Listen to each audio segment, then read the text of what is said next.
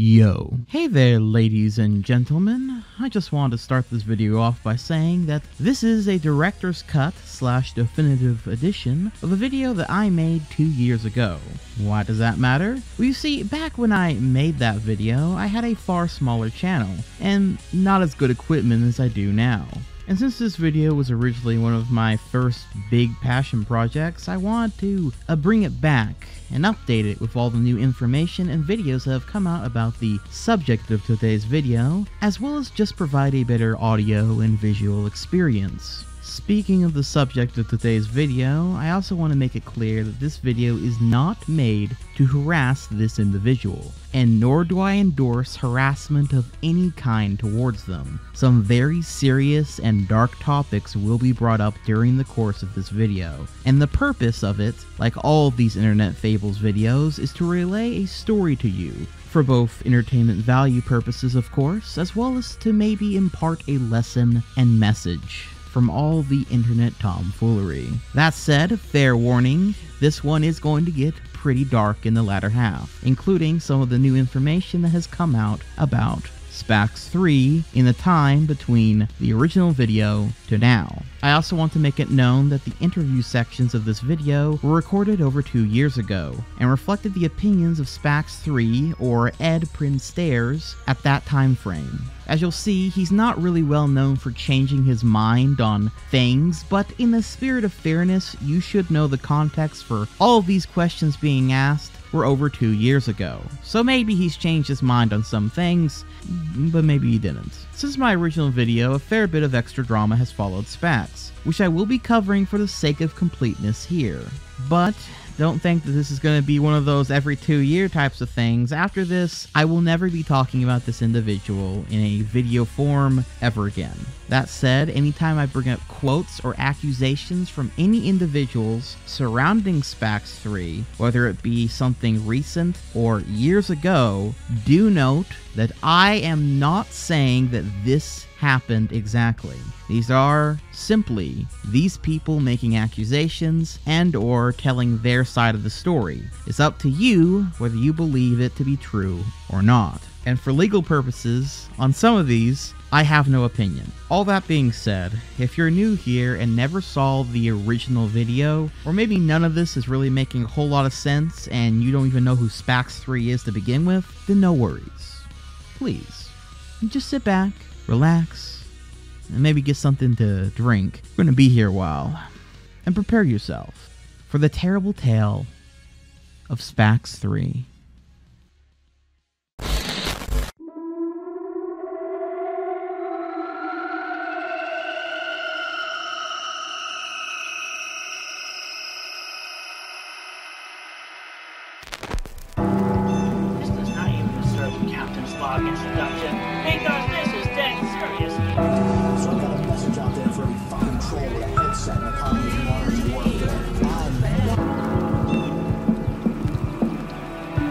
I'm I have some memories I need to repress. I hate the N-word, and by N-word, I mean nerd, not Hello, gamer fans. Spax here. everyone. I'm so glad you're still watching ADGN after 15 years.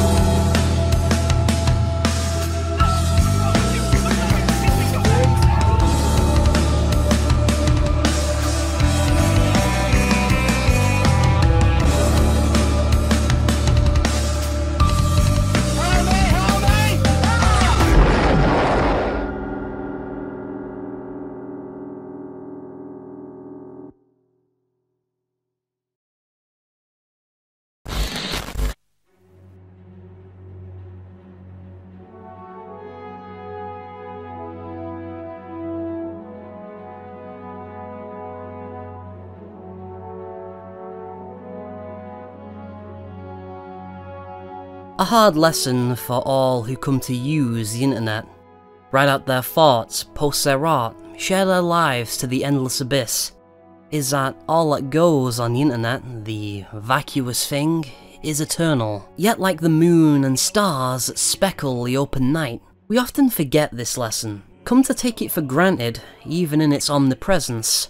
Some, however, are acutely aware of this lesson, but only once they've already made their mark upon the void. and so they will try to run from it, cast it in shadow, to start over again. But for those who never change with time, for those who can't help but revel in themselves, never learn from their mistakes, the cycle is always bound to repeat itself. Gather all for the fable of fables, one that stretches over a decade. A tale of a legend, of narcissism and manipulation, of dirty black hoodies and noids alike, of Sonic and My Little Pony. This is the tale of both an internet fool and pioneer. This is the tale of Spax 3.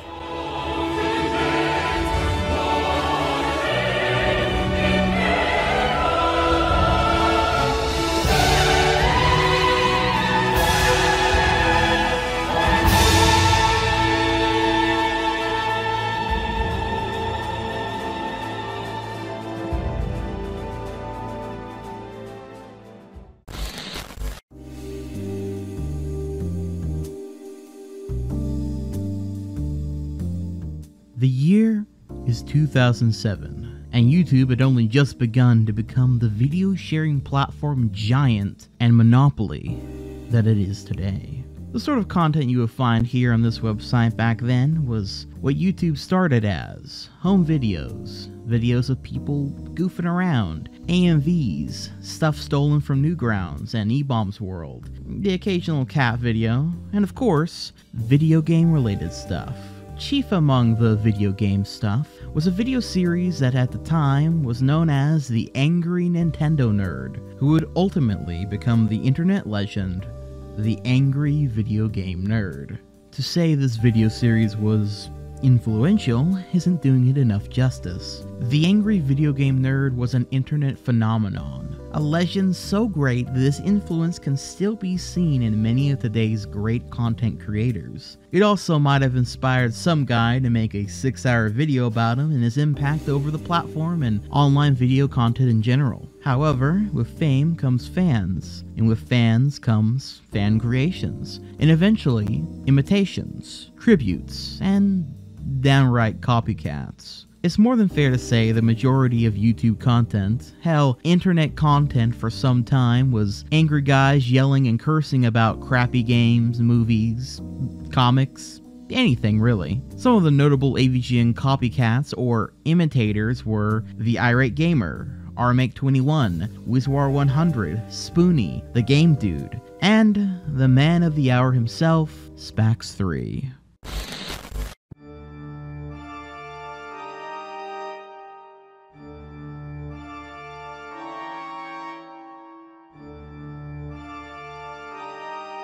Spax 3, also known as Gamer Spax, Hoodie 1, Spaction 3, Hoodie Drunkino, it uh it changes a lot, but all these are just aliases, online personas for the real man named Alexander Edison Princeton Stairs, or just simply Ed. And Ed, let me tell you, is an equal measure, an internet anomaly, and a perfect archetype.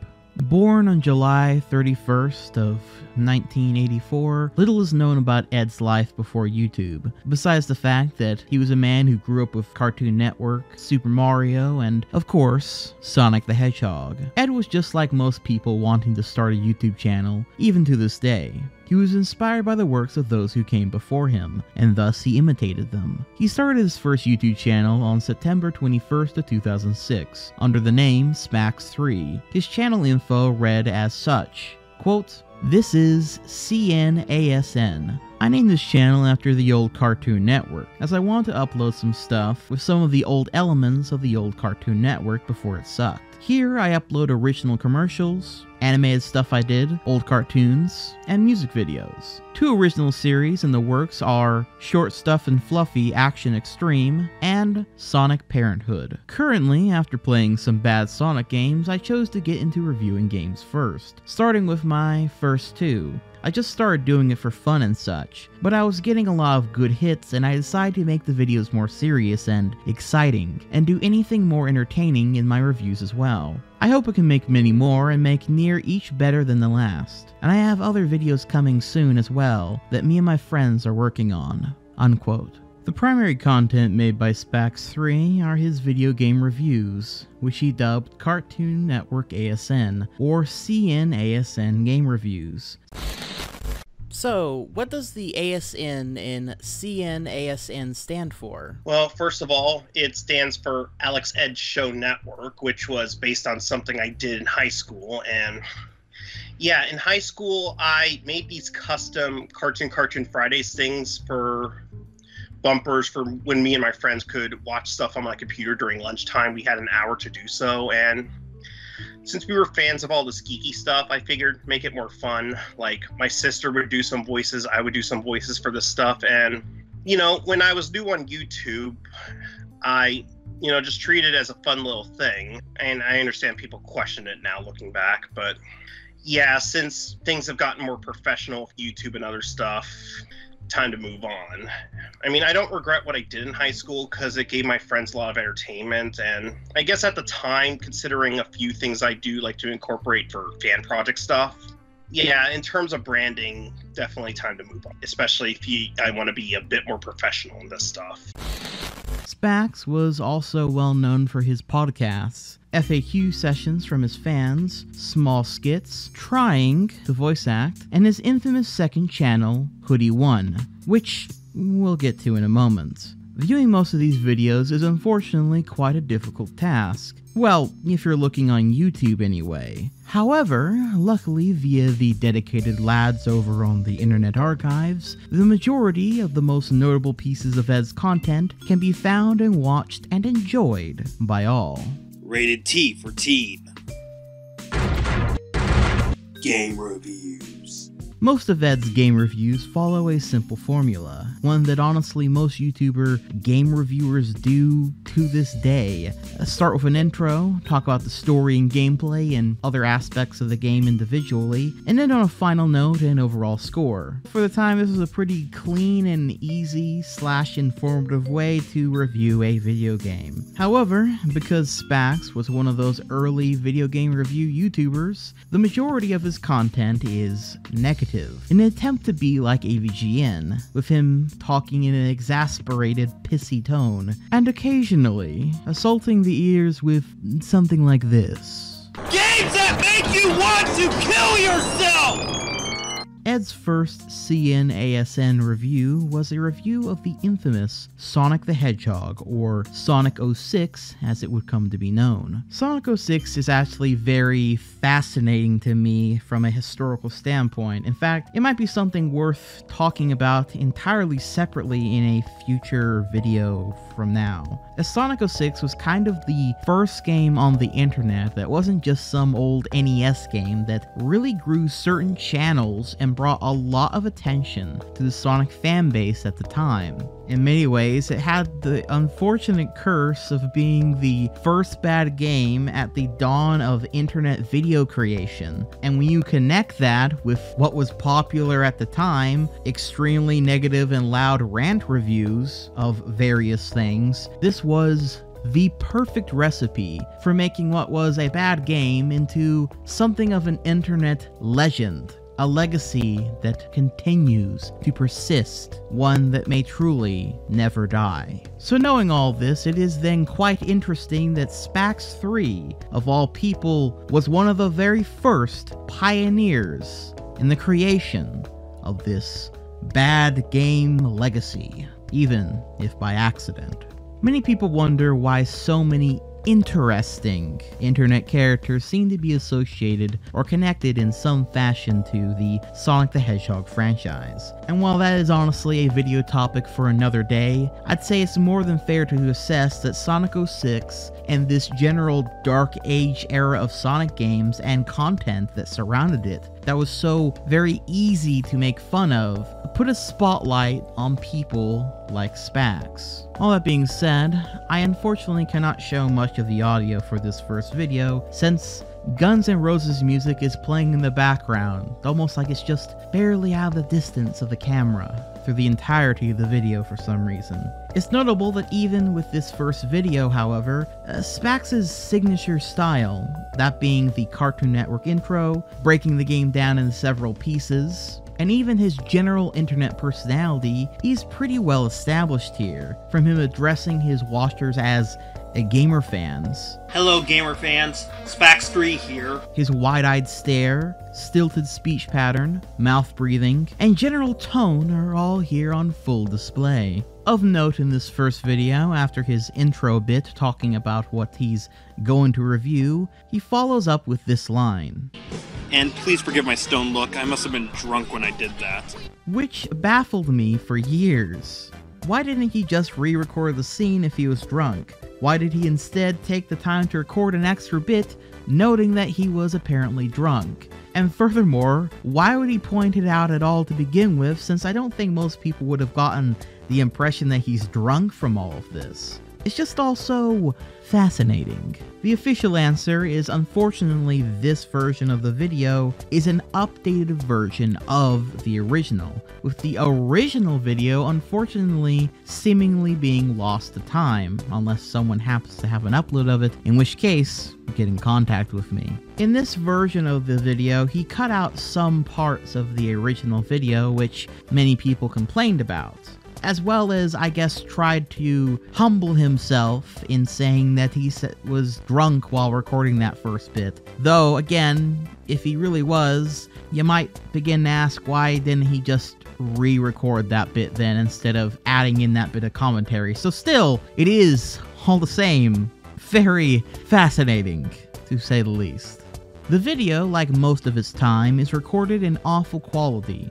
Uh, From what I remember, Spax once said in one of his Lost Q&A videos that he recorded this video and several of the others via a VHS tape. Ah, YouTube was such a magical, magical place. Spax, of course, does bring up some good points. I mean, after all, Sonic 06 is a pretty bad game. Like his rant about the loading times and glitches, which, sure, everyone talks about these days, but I'll give Spax some credit for being one of the very first to do so, even if it is a pretty obvious objective flaw of the game.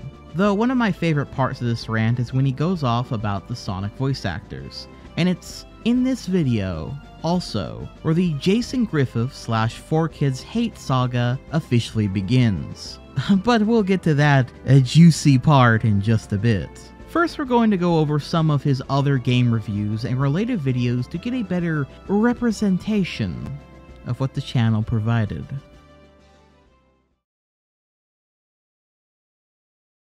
Hello, gamer fans. Spax here. Welcome to segment 2 of Cartoon Network ASN Game Reviews. In Spax's second game review video, he reviewed Sonic and the Secret Rings, though not before going through a brief history of the 3D Sonic games up to that point, going on to rant about 4Kids and calling Sonic 06 Sonic the Disaster, a copyright of Mighty Noid Entertainment. Besides ranting about the voices, again something we'll get onto in a moment, he oddly really enjoyed this game, which is quite humorous to me, because I think Sonic and the Secret Rings is a pile of repugnant fucking trash! Far worse than Sonic 06, by a square mile at the very least. But I digress. Spax is also donning his much more iconic hairstyle here, but something's still missing. Something important. Maybe we'll find it in the next video. Hello, gamer fans. Spax here. Ah, there it is. Spax's good old dirty signature black hoodie, his true power symbol. One that he has donned for well over a decade. And while I'm sure he has bought more than one over the years, I'm sure he's bought many a black hoodie, I like to pretend it's been the same one the whole time. Slowly growing more powerful by the day. This next video is what I consider to be peak Spax fiction, his true apex. In this video masterpiece, Spax is reviewing the GBA port of the classic Sonic the Hedgehog game, which to be fair is a pretty bad fucking port. Spax opens with I have played something that has made my blood boil. It really pisses me off. Because this is one of the most crappy, games I've ever played released for the Game Boy Advance. Now, I was never intending to do reviews for that console, but this one, an exception must be made. One of my favorite parts of this intro is this line right here. Game doesn't deserve mercy. It should be shot, it should be burned. Do anything the hell you want to it, just kill it. Really trying to channel that AVGN at this point, huh? He goes on to say that EB Games don't sell this game in their stores anymore, or at least the ones he goes to, and how their slogan is they take games seriously. So, that of course makes sense. Of course, Spax is lying through his fucking teeth, but I made sure to look it up anyway, just just in the off chance that he's actually telling the truth. Uh, but I found no such case of EB Games doing any such thing. I'm not even really sure why he even just lied on the spot like that. He could have said that they shouldn't be selling the game. But I guess it just sounds more dramatic to say that there are employees at a local EB Games boycotting a game that will most likely get those said employees fucking fired for doing so. Either that or he was so proud of the fact that he buys games from EB Games that he wanted to let everyone know that they hold a similar moral standard to uh, good and bad games as he does. So much so that they take games off of shelves if they're not good enough. Oh, and also, before we go any further, obviously Spax is an amateur and it was early YouTube, but one really funny thing about all of his videos up until this point is how he leaves these little bits in after his intro, where he's clearly turning off the camera, which he surely could have cut out. Anyway, his review of the game is actually not all that awful. I mean, he does do the whole Games that make you want to kill yourself! But for Spax's standards, the review is a bit more informative of what the actual issues with the game are. Plus, this video is unintentionally fucking hilarious, and it's one that I have come back to every couple of years to enjoy all over again. While Spax may get a couple points right, it should be noted that the actual narration, delivery, and overall tone is, well, abysmal. Spax has this habit of yelling loud into his crappy microphone, nearly jump scaring his entire audience, then kind of explain the issue that he had with it afterward. Spax doesn't really have a voice that lends itself well to narration anyway, uh, but the constant screaming, overdramatic fake reactions to his own gameplay footage, and what honestly sounds like genuine anger, Spax highlights some of the worst traits and cliches of most AVGN clones. What the hell is this? I'm not even touching the direction pad and he's still running. I thought he was supposed to slow down like he did in the original. What? Okay, what the fuck? I was just standing right next to it. That never happened to be in the original version.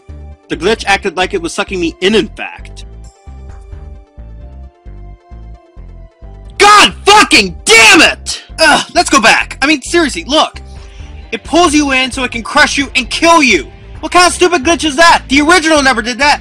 Hate these damn glitches. One of my favorite little complaints in this video is when he talks about the sound effects in the game, and how the game messed the sound effects up. And to his credit, he had a decent point, and was even presenting it well. But then, he makes a joke about Sega being on something when they made this game. A pretty cliche joke for a channel of this nature, I guess, you know, haha, funny drug joke. Uh, but then he adds this little bit. They fucked up. Sega's fucked up again. They must have been smoking something bad. Which actually makes sense because I've been to Sega before. Most everyone there smokes. No joke. I cannot tell you how much I love this little comment so fucking much. The number one, he claims he's been to Sega before, when we all know, just like the EB Games comment, that that is a lie. Number two, they almost all smoked, which I'm assuming he means smoke cigarettes. Though he could mean smoke like weed or crack, which is quite a claim to make, that everyone at Sega smokes crack. I can't tell what's actually funnier though. If he means he saw them all actively smoking some kind of illegal drug and that this was just a normal occurrence in the office, or that he saw them all smoke cigarettes and so surely that must mean that they must be doing some hard shit too? or that smoking cigarettes just in of itself is reason enough for why they would make a bad game.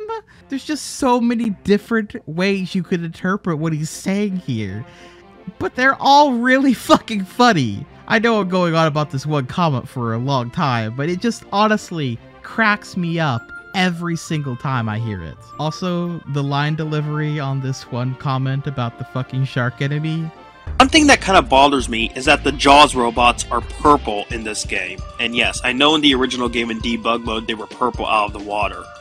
But in the water of the original game, they were red.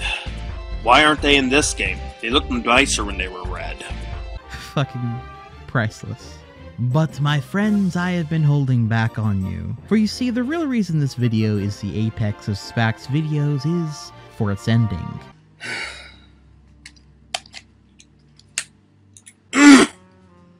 No serious gamer or Sonic fan would like or buy this game. It's a complete insult to this. After going over every possible way to play Sonic the Hedgehog on every console available at the time, Spax asks the question of what we should do with this little square piece of plastic. He asks this fellow who calls himself Dr. Eggman Nega, who suggests cutting the game with a knife. But that's just not Ed's style. Oh, no, no, no, no, no. He wants to destroy this little piece of plastic. And so, how does he go about doing that? Hmm, not a bad suggestion. But I think I know how we can make this a little more exciting, so let's get to work and destroy this thing.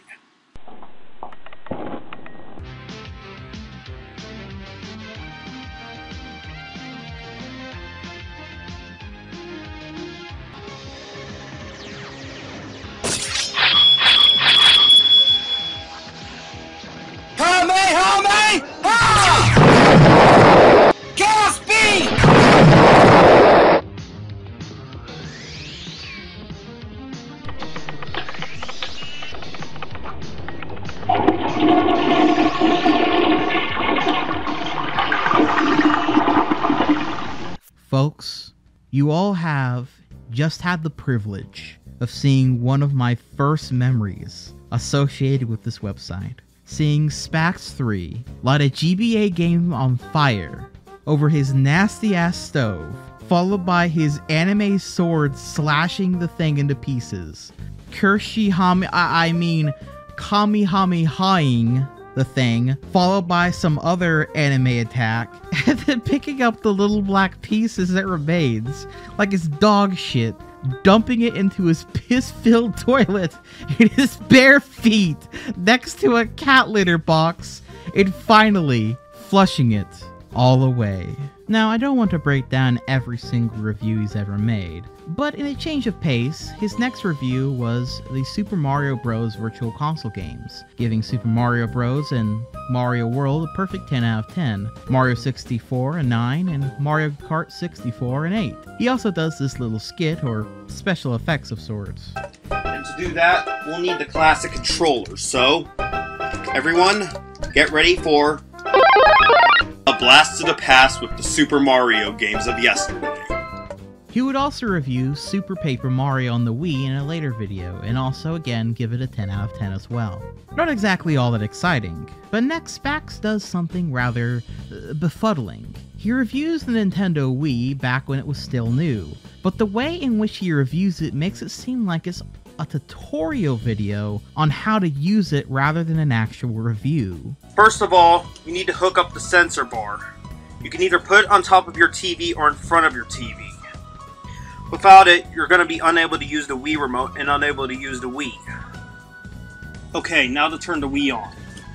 You can push this button here, but if you want to be lazy, you can just use the Wii remote and push the power button here. Of random note, it's thanks to this video that I was able to type in Spax's exact old YouTube channel URL into the Internet Archive to showcase some of his old account info. This was also the first video in which Spax's um, fixation with the old Domino's pizza mascot is showcased here. You can also shop from places like Amazon and order food from places like Domino's Pizza. Now I realize this clip doesn't really seem like much right now, but I promise you, this is some sinister foreshadowing. At any rate, I do find this video a little charming though, as it often comes off as Spax showing off how cool the Wii is and how cool he is for having one, and how it does everything like play games, surf the internet, or see the weather or the news, I guess. Did anyone ever use those last two channels besides maybe the first time, by the way? He also reviews WarioWare's Smooth Moves, and then also goes on to show off his Nintendo Wii collection to showcase just how many games he's already bought for the new console. Other games on the Wii include Excite Truck, a very fun racing game, Red Steel, which is a decent first-person shooter, Resident Evil 4 Wii Edition, which I feel is the best version, and after a year of disappointments, Sonic and the Secret Rings is a decent game and a breath of fresh air. no, no, actually, actually, it's uh, it's, it's dog shit. My only complaint is that the Wii doesn't have a lot of online play games. I mean, I know it'll get more later, but I don't really feel it has as many as it should right now. Imagine thinking Nintendo was going to have online games in 2022. Oh, this was made in what, like 2008? Yeah, some things never change, I suppose. Moving on to the next review, however, we get yet another banger review. A true sequel to the Sonic Genesis GBA review, with a perfect opening line. You know, gamer fans, I'm a big fan of Transformers. I went to see the new movie this year, I thought it was pretty good. And I heard there was a game on the Famicom, and as a retro gamer, I decided to check it out. And when I played it, only one thought came to my head. Fucking kill game designers! My god, that never gets old. This review of this Japanese Transformer game in particular feels like Spax trying his very best to channel the angry video game nerd, and maybe even a little bit of Armake21. I feel as though a highlight reel is in order. But the problem with the grenades, they don't always aim on target, and sometimes if you need to transform back as that's your only way to escape, you'll be too late! God damn it. God fucking damn it! That was totally unfair! It blended with the mountains! Damn it! Goddamn fucking glitches! This is one of the most retarded bosses I've ever seen. Oh, it's the same retarded boss again, except times two. This boss is just as retarded as the planets. Let me bring that up now. Have you noticed that every level I've been to has had the same fucking music? It never changes unless you get that fucking B power up.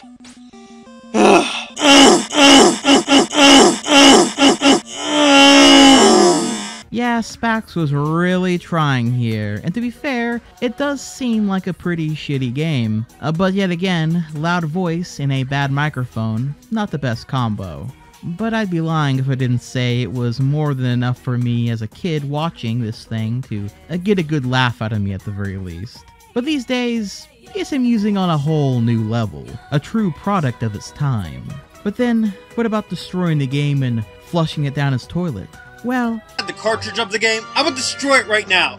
But since I played it through emulation, I don't know what to do. I'm gonna take Jedi's advice and shoot myself. Since he said in his review, shoot yourself if you play it, fine. I'd rather kill myself than play this game again. Marvelous. Oh, and this is also the first review where Tom, the host of the then old Cartoon Network block Toonami, that was later revitalized by Adult Swim, read off the review score at the end of his videos. This does make some sense being here, since he was inspired by the few times Tom, the robot, reviewed video games on the Toonami block for his own videos. And I suppose he wanted more of those Cartoon Network vibes for his own review show. And trust me, it won't be the weirdest addition to this show. No, no, no, no, no, no. That would be after a few more reviews than quote unquote season 1 of the show having been finished, and season 2 finally beginning.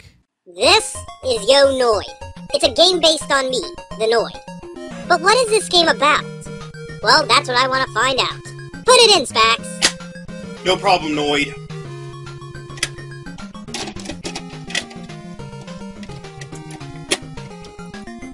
So, you might be thinking, okay, so he had the Noid be a character in the review where he reviews the Yo Noid game. I mean, that makes some sense. You know, that's something I guess the AVGN would do, surely. Well, that kind of would make some sense. But see, throughout all of Season 2's episodes, the Noid would become a constant character in the future reviews, voiced by none other than Spax himself. This is because there was a larger narrative going on in Season 2, where Spax had to save the universe from something, and so his house was transported into Tom's ship, I believe, and the Noid went along for the adventure. And no, I'm not making any of this up, I only wish I had more of Season 2's reviews to show you this in full. But at the end of the day, it was always just Spax reviewing games in his room, regardless of whatever ongoing story was happening. Some of the surviving proof of this larger narrative going on is this intro, which we do luckily have, which I'll now show in full.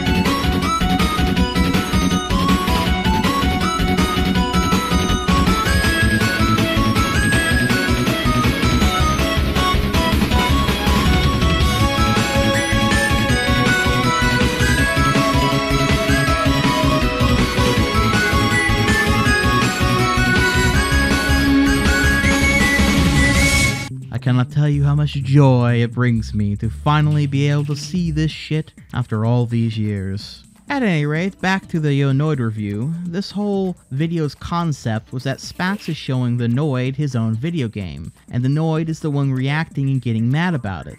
And, uh, Wait a minute. What am I doing in front of a pizza parlor?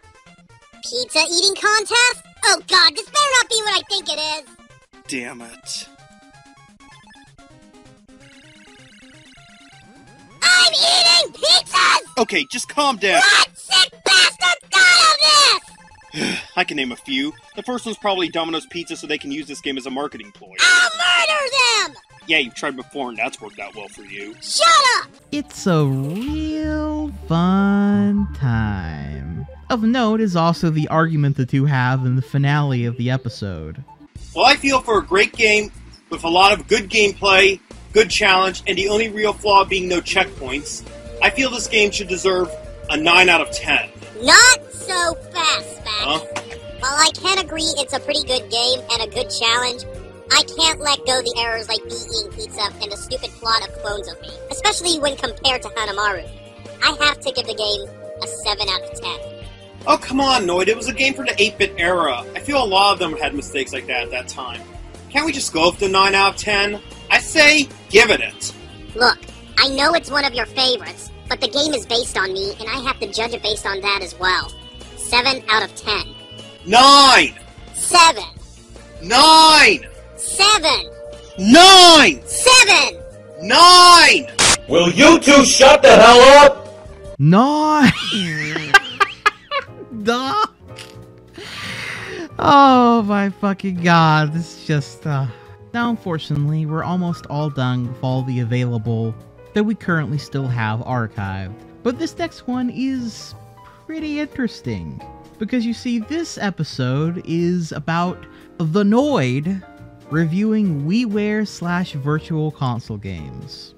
Yes, seriously. You might wonder why Spax was so obsessed with the fucking Noid. So much so that he became an integral part of his channel and brand, for that matter. And as we will later see, even his controversies, which again, don't worry, we'll be getting to very soon. The answer to this question is Okay, okay, okay. Before I talk about the game on the Virtual Console, there's something I want to discuss about the original NES version the box art.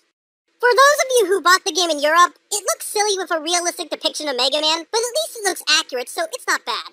But look at the US box art. that is so pathetic.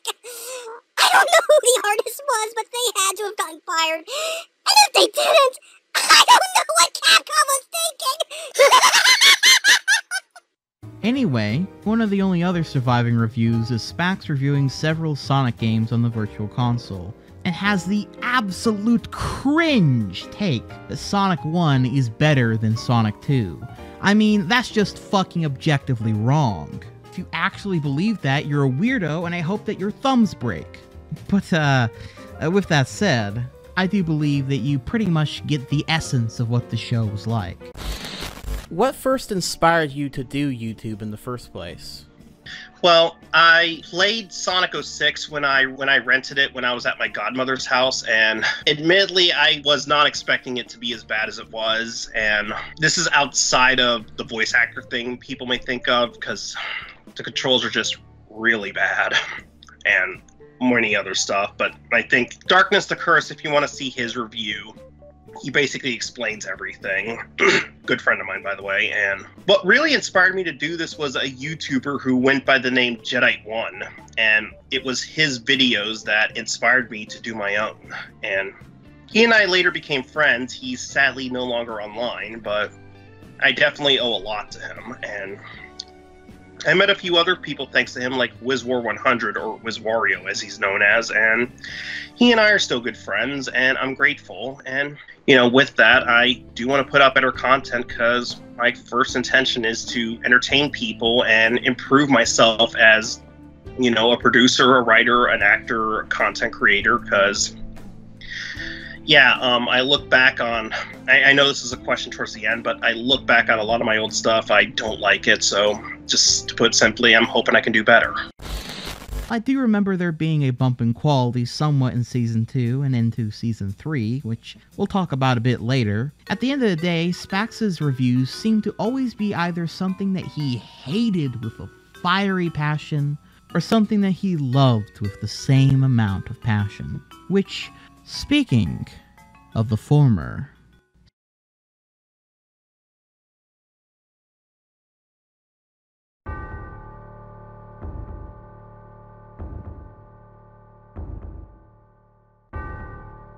So, if you're somewhat familiar with Spax, or have ever at the very least heard of him, this is most likely the reason why. That tornado's carrying a car. What? Whoa! Whoa! Listen to me. Too easy. No sweat. Yeah! Yes! Okay! Yeah! I can handle this myself. Besides, you got somewhere to go, right? I'll make sure to change Elise's fate. And that in turn should change your future too. Why does Jason Griffith always talk like this, in this flatline voice that kind of makes him sound like a younger Big the Cat? It sounds so fake and so bad. For a bit of context, the Sonic the Hedgehog franchise, when it jumped into 3D, had with it a cast of voice actors to play, well, all of these guys. Through the Dreamcast era and through most of the GameCube slash PS2 era of video game consoles, Sonic the Hedgehog and gang went through several different voice actors. But Sonic and Robotnik stayed consistent through these years, with Sonic being played by Ryan Drummond and Robotnik being played by the late Deem Bristow. Deem Bristow unfortunately passed away shortly after the release of Sonic Heroes, and at the time, the 4Kids dubbed show Sonic X was doing immensely well over here, and while the exact details are a bit fuzzy to my knowledge, ultimately Sega decided instead of just replacing Robotnik with the then Sonic X VA for Robotnik Mike Pollock, Sega decided to replace the entire cast with all the 4Kids actors, including replacing Ryan Drummond with the 4Kids Sonic VA, Jason Griffith. And Ed, well, Ed wasn't exactly happy about this. One voice actor dies, Sega decides to fire the entire cast of the Sonic games with the much worse voice actors from Sonic X from 4Kids Entertainment. According to Spax, there are two integral parts to games like Sonic the Hedgehog. One is the gameplay, and two are the characters. And thus, from his viewpoint, the voice acting is just as important as the gameplay, because they are who represent the characters. Spax thought that most of the new cast were awful, and were ruining said characters. The worst case in Ed's mind being Jason Griffith. He thought that Jason couldn't emote, that he is actively ruining the character that he so loves. and that Ryan Drummond was objectively superior in every single imaginable way. Spax felt this so strongly that most of his rants about Sonic 06, or as he would later dub it, Sonic the Disaster, focuses on how bad Jason Griffith was as a voice actor.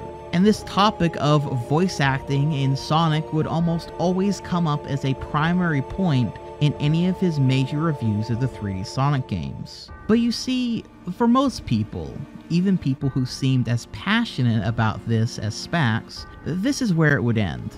They bitched about it through video form, or through forums or whatever, said their piece, and that's about it. But Ed could not stand Jason being the voice of his beloved Blue Mouse to such a degree that he made several more rants, found a way to bring it up nearly every time he talked about Sonic, and started a boycott campaign online to get rid of Jason Griffith. Quote, I am organizing a boycott of Sonic the Hedgehog slash Next Gen Sonic slash Sonic 06 if Jason Griffith is going to be voicing Sonic in it.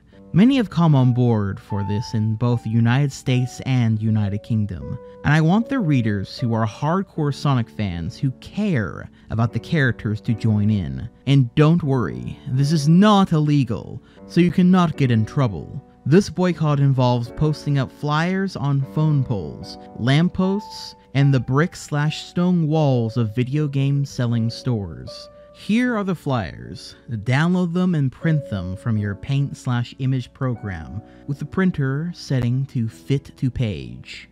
There is another step to this protest. However, it is a little more intense. Picketing your nearest video game store on the release of Sonic the Hedgehog. I am going to be doing it at the nearby Best Buy, as are a few others. This is not illegal as long as you do not go inside the store. However, since this one is a bigger, comma, you don't have to do this step if you don't want to, and you can just post the flyers up around town instead as mentioned. I have even called Sega VP Scott Steinberg and warned him of this, and I will be calling every two weeks until I can get him to confirm that we will get what we want. This is Sonic's 15th anniversary. It should be special for all the fans. To contact me about this for more information, my net contact information is on the flyers. Unquote. To say Spax had an obsession with getting Jason Griffith fired would be underselling it. Spax hated Jason Griffith. He hated 4Kids, and this hatred eventually came to be his identity on the internet. Spax went so far as to email Jason Griffith several times and said that he wouldn't care if the VA died violently. Jason Griffith, however, he's the only member of the of the voice cast I actually hate. I hate his guts. And anytime I get a chance to diss him, I take it. He sucks so so much. I mean, every every time he talks, it's like he's mocking Sonic. He has this really, really dorky tone. He just doesn't sound as youthful as Sonic is, is supposed to be. I hate it. And furthermore, the guy's a jerk. I emailed him once politely for some information. He's a jerk. That's why I hate him. And personally, if he got hit by a car and died, I'd cheer. I mean, he, I, I just really hate him that much. He sucks. Hard, hard, hard.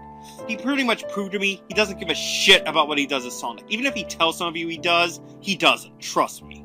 What's more is Spax was so confident in Jason's objectively bad performance that he started a fan dub project with his own posse to redub several episodes of Sonic X, with Spax playing the titular character of Sonic, as showcased here.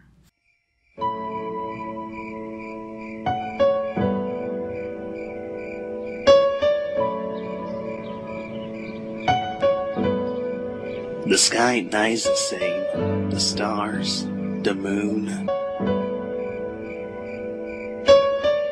Is this the power of the Chaos Emeralds? Is this another world? Or is it time travel? Am I alone? Or did everyone else come with me? Well, it's okay. I'll work things out. For obvious reasons, this only really led to more embarrassment for Ed, even if he claims the dub wasn't a finished project. The ego it took for Spax to build himself up that he was somehow going to be better than a professional voice actor after months of bitching and moaning about Jason Griffith's performance on a cartoonish level.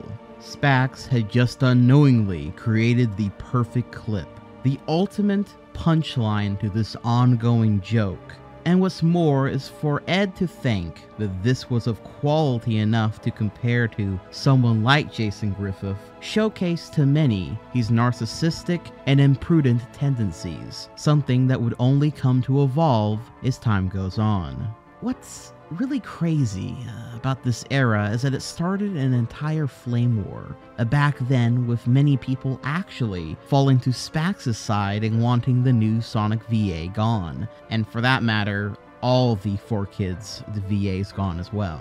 While others thought that he was being overdramatic and crazy, and that those who really wanted the VAs gone were also being dramatic and crazy. This would lead to an insurmountable amount of arguments video responses, Sonic forums everywhere being lit ablaze in debate, and truly a clear divide having been made in the Sonic fanbase, one that nearly no one could ignore. Spax seemed to revel in this for a time, with a fair bit of his own fans, friends, and the like fighting for this ongoing cause, to make Sonic the Hedgehog's voice acting great again, you might say. What's funny is there are still debates had to this very day about the voice acting of Sonic the Hedgehog, with many people having very strong and clear opinions on the matter, which is perfectly fine by the way, even if it always brings me back to this time frame. And many people are too quick to toss away legitimate criticism as being the dumb ramblings of a fanboy, when in truth, it's usually coming from a place of love, admiration, and care for these franchises. It can still be unfounded and dumb criticisms, of course, but when I hear someone criticize the direction of a series that they love and care about, I usually, at the very least, hear them out because even if I completely disagree with them, it is nonetheless interesting to hear the perspective of a longtime fan. That being said, the criticisms of Spax and his lot that they were aiming towards Jason Griffith and Sega at the time uh, were very childish, as were their approach to nearly everything and all discussion around it. It got so heated and so bad that anyone who had actual legitimate criticism to share against Jason Griffith or the 4Kids cast, or even just 4Kids in general, could sometimes or often were labeled as a Spax copycat or someone associated with him because of the impact his lot had on the entire discussion. They really did poison the well. While it's easy to forget now, Spax really did have a bit of an impact on the discussion of Sonic the Hedgehog on YouTube, at DeviantArt, and the like. He was one of the first real Sonic tubers, you might say.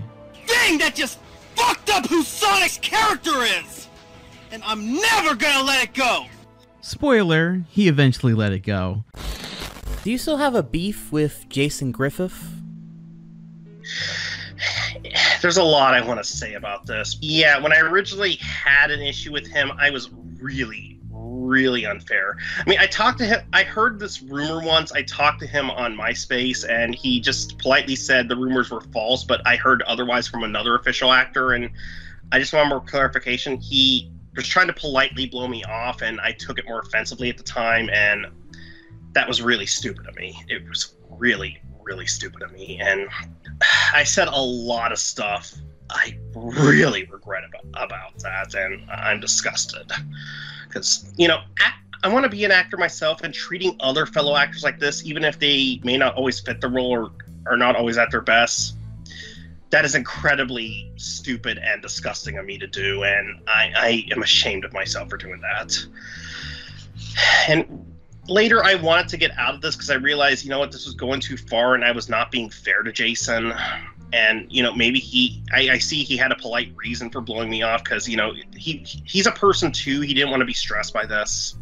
And you know, some people when I just said, you know, I don't want to do this get rid of the 4Kids casting anymore, or I just said, you know what, if we have still have issues, maybe we can look for other people within there if there's still a contract. And you know, people blew up on that. Some either were saying, okay, he's just doing this because he wants Jason Griffith gone. One person who kind of had that voice specifically said that. That was not the case at all. Because even during that time, I said, you know I think Jason should still stay a shadow. And honestly, yeah, I think Jason Griffith was awesome. In fact, if anything, I think Jason Griffith was the best Shadow of the Hedgehog voice. There's many other roles I do like Jason had. I mean, he played Miyamoto Usagi in Ninja Turtles. That was good. Originally, he was fine as Sonic, but then he got a bit worse. But then later in the games, he got better again. You play Sonic Unleashed and Sonic and Black Knight, he gave his best performance as a Sonic there, and I absolutely love them. And I think it's a shame he didn't get to go out in Sonic Colors. I mean, I love Roger Craig Smith. I do. So I'm I'm happy he does a good voice of Sonic, but if the voices were to be replaced, I just want Jason to go out on a huge bang, not just to give a great performance as Sonic, but also to be in a truly great game. Because currently, to this date, Sonic Colors is my favorite 3D Sonic game and probably my second favorite Sonic game of all time. But also relating to this, when I first joined Facebook and I saw Jason Griffith had a Facebook page, I sent him an apology. And sadly, I don't have the screen cap of it anymore. I was hoping it'd be in messages, but it's not. But you know, he then later responded to me in a more public way, and you know, he was happy to hear from me and everything. And I said, I told him, I'm grateful you're giving me this chance, and I hope I can do well. And I, I thankfully that I do have a screenshot as I've sent you, and yeah, me and Jason have been cool ever since, and I do want to support him. I mean, are there roles of his and performance of his I don't like? I mean, yeah, I mean, I hated his performance of Usopp, but to be fair, when it came to the 4Kids Double One Piece, everyone did a horrible performance. It's like no one who worked on that show cared. So, and same goes for Sonic 06, because that's where he gave in his worst performance as Sonic, and he underperformed as Shadow, although granted it was a little better, but everyone's voice acting was bad there. So, I, yeah, I mean, I, I'm sorry if this is long, but there's a lot of factors that go into this because of the history and such on. Because, you know, if I ever do a new review of Sonic 06, I mean, I am still going to have to criticize Jason's performance, but I am not trying to hate on him, and I want to at least be fair. You know, stuff like this will happen. If someone gives a bad performance, it will be criticized, but even so, I'm not going to hate on the actors ever again because that's not fair. Unless I hear the actor did something very, very, very vile and it's proven they've done something vile. But Jason and everyone else I've heard at 4Kids, or former 4Kids, I have never heard anything bad about them in that regard, and I've gotten to know some of them. They're really cool and nice people. But hey, one way or the other, Spax did eventually cool off on this topic. Uh, but the funny thing is, when you're the leader of an angry movement, it means that you have a fair few followers who are just as, if not even more angry about those same topics. This leads to one of the first times I can insert myself into the story. I had no real care or opinion on Sonic's voice actors. I legit thought Sonic had the same voice actor until I watched Spax's videos back in the day, as a matter of fact. I was just a kid, watching content like The Angry Video Game Nerd, Armake21, and yes, Spax 3. At the time, he seemed like a pretty quality YouTuber, and I'd be lying if I didn't say that I was quite the fan at the time. I remember getting super excited about his Season 2 content, and while it's a bit embarrassing to admit, I even think he did help shape my opinions more fully on Sonic 06 back in the day since when I first played it as a kid before that, I remember feeling off about the game, as there was parts I liked, but I also remember it being very, very glitchy, which to my childhood brain was thought to be impossible.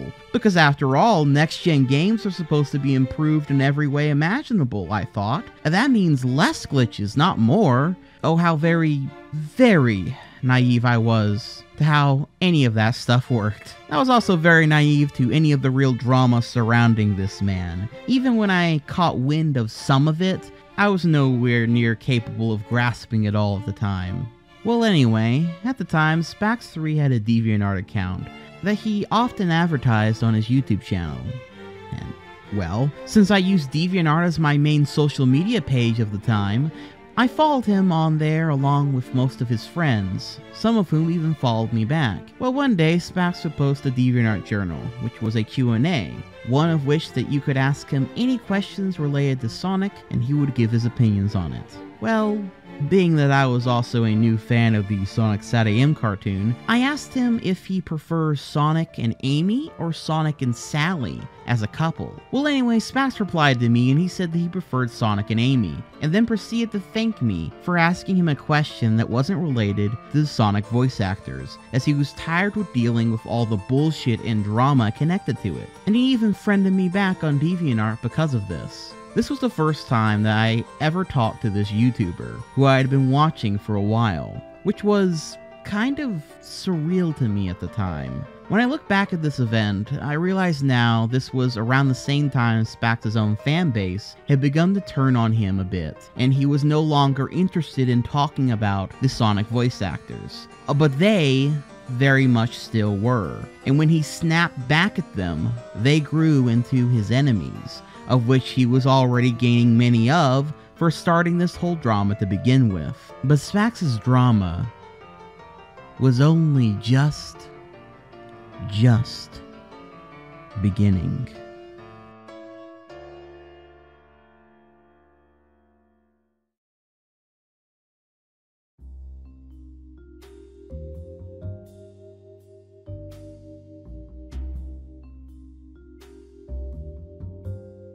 Besides Spax's normal content, he also had a second channel by the name of The Hoodie One, which the description of said channel read as follows. Quote, I'm back and feeling smexy tonight. From now on, I will only upload meaningful videos with a purpose for all the inbreeds and mentally community that keep YouTube running, as I know you need your videos, and I am more than happy to entertain you. Have fun equals D. By the way, I'm still accepting friend advice. To all of you who try, you may want me, but you can't have me. Unquote. This was essentially Ed's shitpost channel, where according to him, he played a character outside of himself. Much of the content on this channel were Skype calls where Ed talked with some guys and gals and kids about such interesting topics as Hey everyone, let's talk about boobies! Or Hey everyone, it's the Hoodie One, who's obsessed with his big black hoodie, and I have people with me, Ryder and Pimp and Fish Sticks! I like cheese. Me It makes too. me I like cheese in my ass because I'm cool. Cheese makes me hard. What are we here to talk about today? Burgers! What he said! Rock on! What? what? What? What? Let's all talk about what makes us horny. Besides that, Spax also liked to take on the persona of an internet smart guy, uh, to make fun of his enemies through animations. Nima, could you please help me take out the garbage? My name is Garden Nerd Mom. If you don't respect my opinion, then go fuck yourself! That's our Nima. And once, even through song. Everyone, sing along because This is Jeopardy! this guy, he is round and big. He whines about stuff, and he is a pig. Whenever this guy gets upset, he then fails the internet. Then there's a man with a child's head. When insulted, he tells mom what they said. He edits pics he claims he made. You know, this man will not get laid. He's like other fan fiction writers on DA claiming film. Screenshots are theirs, they exist on sites where they don't belong. That is why they're in this song. But there's a Sonic artist girl who says everything she draws original despite her fan base. Don't forget that she still fails the internet.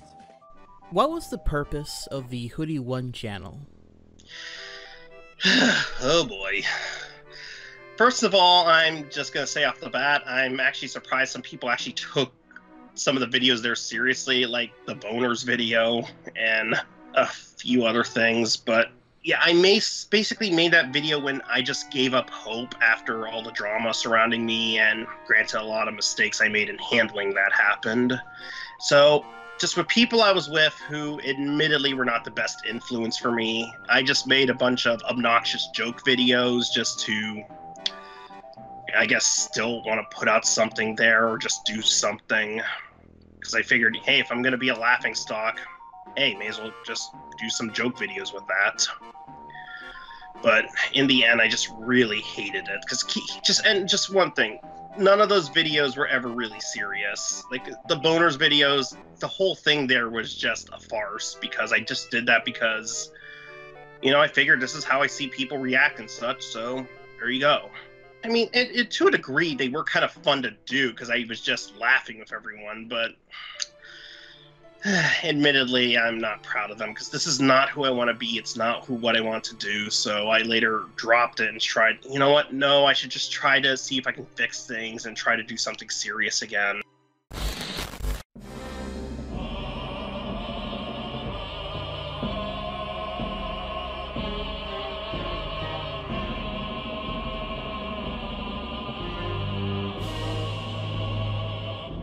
The Hoodie one wasn't the only place he aired out his dirty laundry, though, as that was an awful habit of Spax's. As besides his usual content, Spax was also well known for his furious rants, and honestly, it became a real drama show near its end. One such incident of drama that lasted for some time was when Spax went to war with Sonmanic. Uh, for those who aren't aware who Sonmanic is, well, his real name is Richard Kuta, and luckily for you, I just so happen to have made a long ass video all about his own online history and legacy. So if you want to know that whole story, I'd go check that out. But the TLDW is the man is well known for being a Sonic related internet fool, with a Sonic SatAM fan film being the real crux of it all. Anyway, Sonmanic wanted to make a Sonic the Hedgehog movie uh, based around the Sonic the Hedgehog cartoon, otherwise known as Sonic SatAM. Well, it's not relevant going into all the details of how disastrous all that was. Ed at one point was going to play Sonic the Hedgehog in said movie. However, Sonmanic didn't like Ed's version of Sonic because, uh... The sky nice and same. The stars. The moon, the moon, the moon, the moon, the moon, the moon. The moon. Yeah, but besides the obvious, uh, another reason was supposedly is that Ed wasn't dedicated enough to this project and was too busy with his own stuff and playing video games. Spax would later be given one more chance to try and get the role, but apparently Sonmanic told him that he just wasn't good enough and went with Ed's friend for the Sonic voice actor instead. Now let me go on to the movie director, Richard. As I've said and will say again, he is a liar. He did mistreat me, lie to me, trick me, and abuse me. And I don't care how far he fired Wizwar either, which I think is because Wizwar is a close friend of mine. If he wanted to replace me as Sonic in this project, that's fine. He could just told me right away that he felt I didn't fit his role of Sonic, or his vision of Sonic. And if he wants to replace me, that's fine. I, still, I would have tried to help him find a new actor, and I probably would have still tried to help him with the project. But instead, he decided to lie about it, and he's and he decided to just trick me for a few days, trying to make me not feel bad. But that means I just did a lot of work for him for nothing. And I also found out that he probably didn't want me in the project altogether. Well, if he had a good reason, a good legit reason, and it was a fair one, then fine. He could have told me that, and I would have just left. But that's not what happened. He mistreated me. I felt robbed, especially since I gave up a job on a website just so I could, could help him. Now, of course, this very much bruised Ed's ego and pissed him off to no end. Uh, so much so that he went on a series of video rants about both his friend and Sonmanic. One of his chief complaints being that he felt Sonmanic had played him, only pretending to give him a second chance when he had in reality no real intention of giving him the role. And Spax even claimed he gave up another online job before this said role audition, though he never actually said what the other job was or proved that this was actually the case. Whether or not Sonmanic had tried to play Spax or if it was all just hurt feelings is anyone's guess, but in all honesty, it seems like Kuta just plain out didn't want Spax to play Sonic, and Spax's feelings were then ultimately hurt. This should have been where it ended, but it's not. Spax took things a step further by threatening to sue Richard Kuta over the project, which eventually led to the worst of the drama during this era. While the exact details are unfortunately a bit fuzzy, what is known is a 13 year old girl who was also working on the project made a video about why Spax was taken off and banned from said project. That it wasn't just his bad voice acting, but it was also because all he ever did was play video games and watch anime instead of actually doing his job for said project. When Spax saw this video, he decided to have his own mom call this 13 year old's mom. This caused even more controversy and drama, as having your own mom call a 13 year old's mom and threaten them with legal action over a video when you yourself are 23 years old, well, let's just say it isn't exactly good optics. Spax would later try to clarify this in a follow up video. I didn't sue anyone. And I've only threatened to sue one person recently. And that was that movie director. I did not threaten to sue the kid. All that was said to her was what she did was suable. But I didn't try to sue her. I wasn't gonna even try to do it. Really. If I'm gonna sue someone, I'll sue an adult, and only if it's really, really, really necessary. I mean, look, certain parody videos I don't mind, but this sue thing, it's retarded. I've only threatened to sue one person who actually deserved it. Luckily, it didn't have to come to that. Here's what happened. To try to make a peaceful resolution, my mom, whom I've mentioned before, I, I helped nurse, talk to her, the kid's mom, because I figured that would be a more pe- it, it would be a good peaceful way to settle things. A talk between parents. She's the one who's my mom is the one who said what the kid did was suable. She wasn't trying to sue the kid. She was just alerting her mom. Okay? So why don't you drop this shit and get your facts straight before you claim anything? In the end, the whole situation was hurt egos and anger over fan projects that would never come to be. But even still, things would only get worse for Spax going forward. And in each and every case, the issue primarily being his own inflated ego.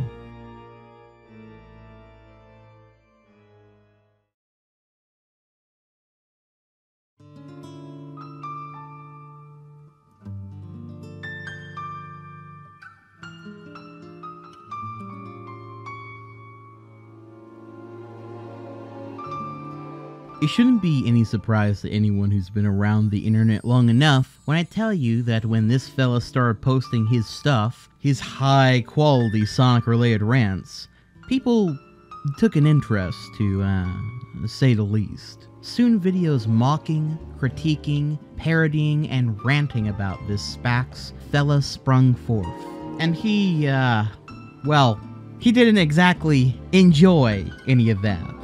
Spax wasn't a pioneer in doing YouTube videos or being a Sonic fanboy ranting and raving on YouTube. I mean, he is a little bit in those regards. No, no, no. See, he was a pioneer in his use of the copyright claim system here on YouTube. Spax, similar to Mundane Matt and others that have come after him, just could not stand being criticized. And so, he decided the best way to stop this annoyance and a bruising of his ego was to take said videos down, copyright claim them, ban all criticism of him off the website.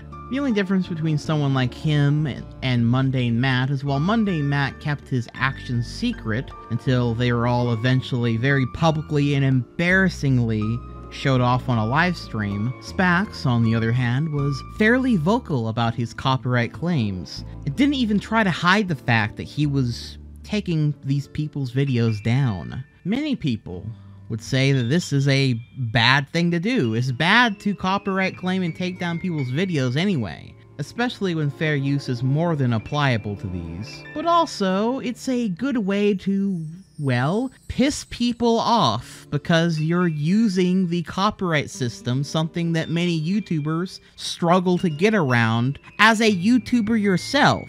It's why often when this is done, said YouTuber will be secretive about it, because it's something that's almost universally hated. But Spax never hid it, because he thought he was legitimately 100% in the right in doing this. I don't really believe in the thing of good or evil. I'm not a saint, so don't really give me that shit. Don't treat me as I should just be this all good knowing creature. To me, evil and good and evil are just words. However, war and peace, that's another story, because that is something I do believe should be settled with. War sucks. I so even if so even if we don't like someone, we should at least have peace. If you hate someone, just leave them alone. Look, for me, there's things that matter to me. Friendship, war, peace, and honesty. These are four things I believe in that have a meaning. Good and evil, I don't have any meaning. Look, I'm not a heroic figure. I'm just an anti-hero, pretty much. I mean, look. Th- this world's savage. If we have to do anything to defend ourselves or make it out there, I don't care what it is, we do it. Things would only get worse from here as people started calling out Ed's act of banhammering, and so he began to make excuses for his behavior even more. It started with the usual defenses. Those people were slandering me, using my name or clips without permission, until he began to use his mother as an excuse. According to Ed, his mom is a lawyer, and she told him that he was well within his right to take these videos down, even the ones that dared to simply mention his name in anything but a perfect light. By Ed's view, as soon as he uploaded a video, those were copyrighted exclusively by him, and no one was allowed to use a single frame of them, otherwise they will be eradicated from the website.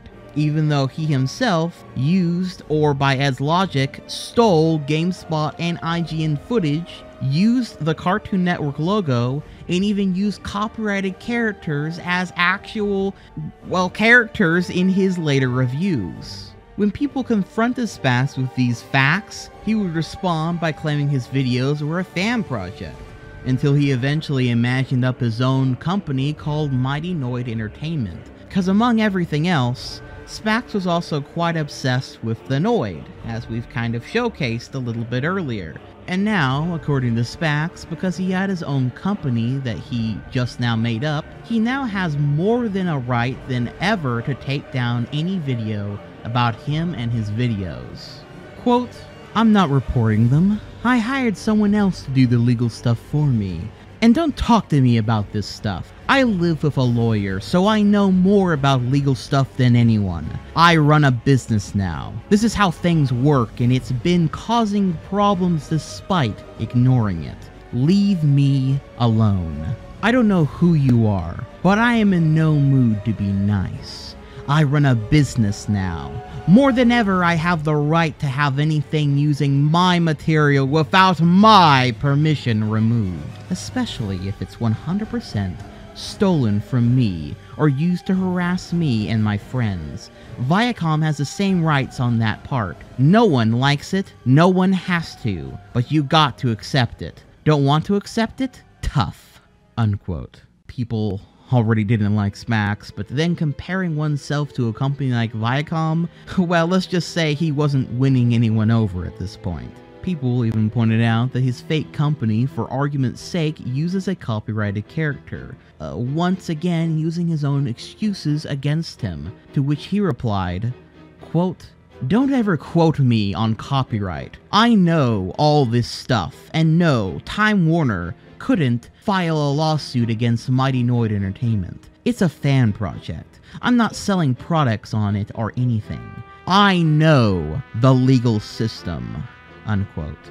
As a small side note, one of the other series that Spax had going on his channel was the Ask Spax Q&A show, where his fans could send him in questions through online comments, Xbox messages, and Wii mail. I'd like to show you a bit of the only episode of this that we currently have remaining, since the first question addresses this issue. Neku Dark asks, where did the name Mighty Noid Entertainment come from? Well, first I want to clear something up. We're not a company, we're a group, but that doesn't make us any less legit. It's an alias for us and we're allowed to do stuff under it. But to your question, it actually has a double meaning. The first thing is that it's based off two cartoon characters, Mighty the Armadillo from the Sonic the Hedgehog games and the Domino's Pizza Noid. But when choosing the name for our group, we want to make sure that the names of the characters we chose had a double meaning so that we're not infringing anything. Mighty is a name meaning great or big or something, and Noid is actually slang for paranoid as well, so our group roughly translates to Mighty Paranoid Entertainment. Very fitting name indeed. And duh! Spax didn't just take down YouTube videos though. He also took down and got several people banned from the website of DeviantArt. One such example of this was a user that went by Random DCE, who also had a YouTube channel at the time that occasionally made fun of Spax as well. Random DCE wrote a text rant on DeviantArt calling Spax out for his behavior, uh, both on YouTube and DA, to which Spax promptly had taken down and eventually had said user banned from the website. The rant reads as follows. Spax3. Since you love being the centre of attention so goddamn much, I'm writing a rant just for you. I dare you to remove this rant as a violation of copyright. Newsflash genius, it's not a violation of copyright to say that you're a no-talent hack who is afraid to hear the truth from people. That's right, Spax, people make fun of you because that's human nature. And you keep throwing yourself in the spotlight to warrant more humiliation. Oh, is someone making fun of you? Welcome to the human race! In the past, people have made fun of me. Guess what I did, Spax? I laughed because I thought it was funny. But you want to cover up other people's opinions of you because you think you're better than everyone else. Sure, if you get troll comments like, you're gay lols, fine, remove them.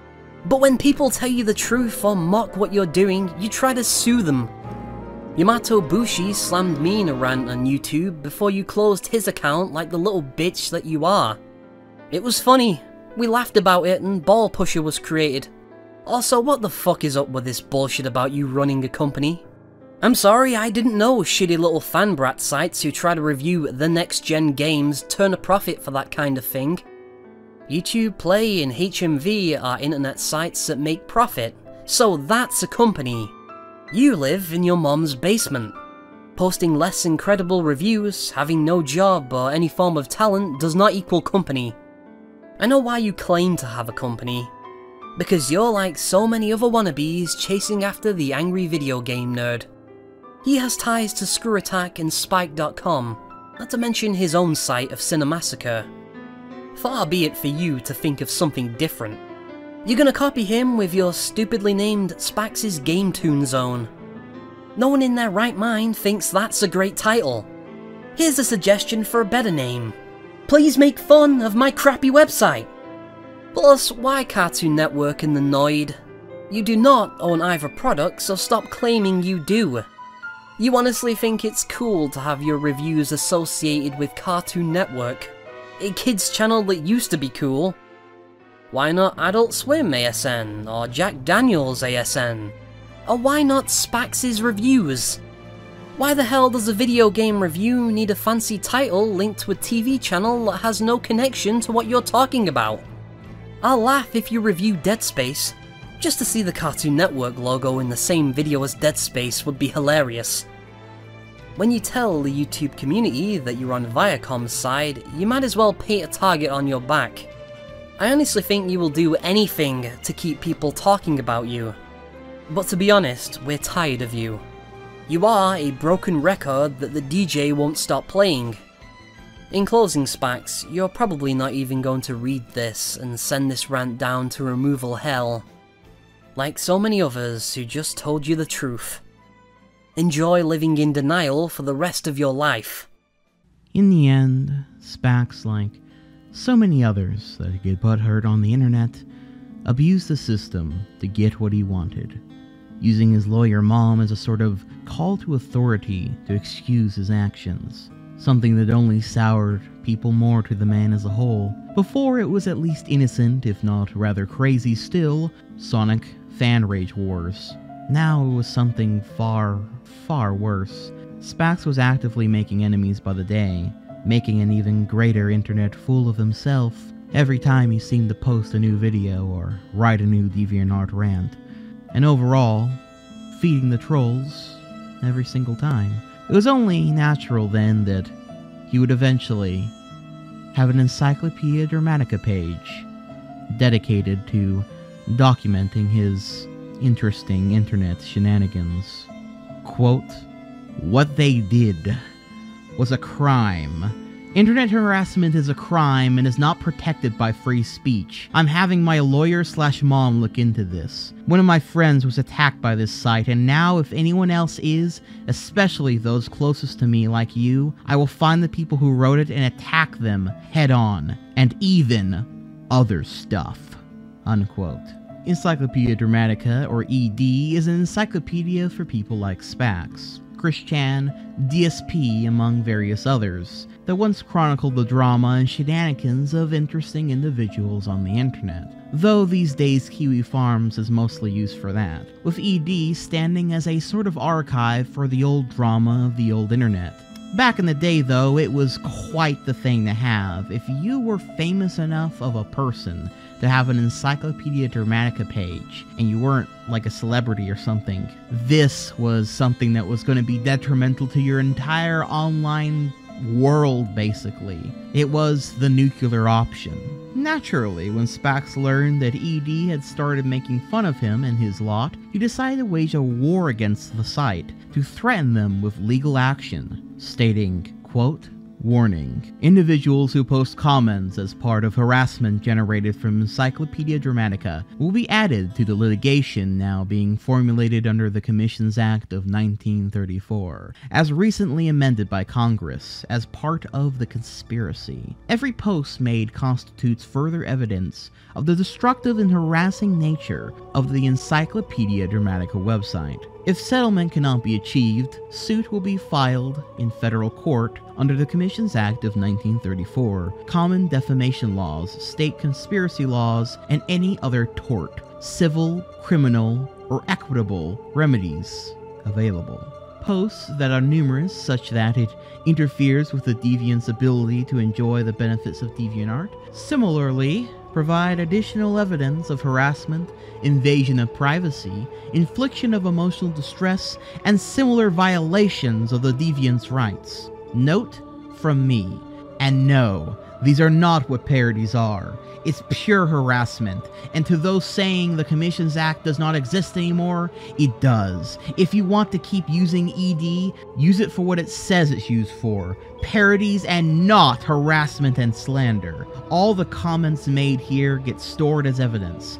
This is not a joke.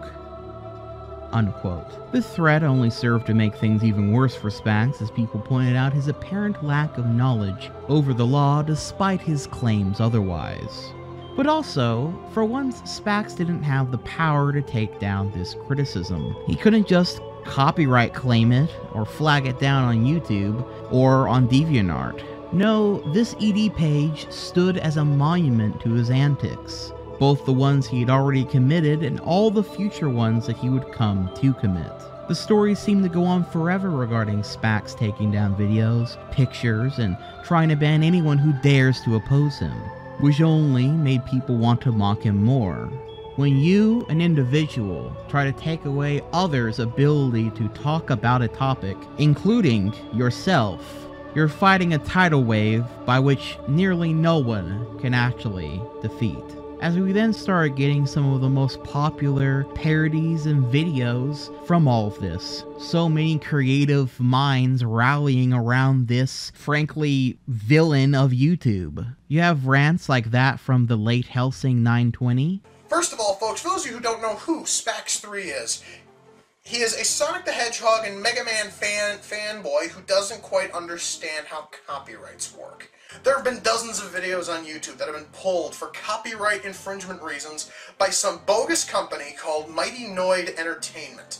If you don't know what that company is, it is a company that was created in Spax's feeble little imagination, and he thinks that because he imagined it, he has copyright to it. Unfortunately, the problem here is that Spax doesn't fucking understand how copyright and fair use works. I actually looked this shit up, folks. Fair use. The following things are covered under fair use. Commentaries, criticisms, parodies. Gee, what the fuck has he been pulling from YouTube and DeviantArt? Commentaries, criticisms, and parodies. Holy balls, he's pulling down shit that is protected under fair use. Animations made by Coconut Buyer. Jeez, what is your problem? You're supposed to be the good guy. Personally, I don't really believe in good or evil. I'm not a saint, so don't give me that shit. Don't treat me like I should be this all good knowing creature. To me, good and evil are just words. What? Is this the great hero of video game land? Looks like a dweeb to me. Hey! You have no right to call me that! All you want to do is spread drama. I fucking hate you and I hope you die slowly. Whoa, holy shit, kid, calm down. I was just teasing you. What are you doing? I'm drawing a picture of me stabbing you to death. Oh god, what the hell's wrong with you? Fan songs. Spax will sue you for all your videos. Get money for a new Sonic game. Spax gonna get some eight dollars. He will now buy a new Sonic and he's gonna wind up at it. He will also tell his mom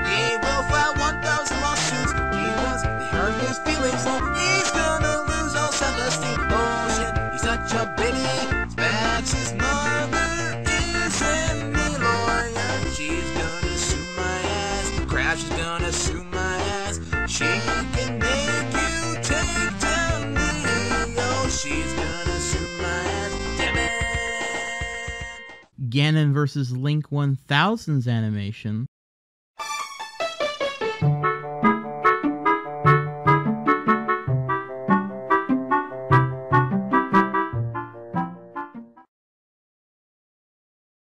You're like the greatest thing ever.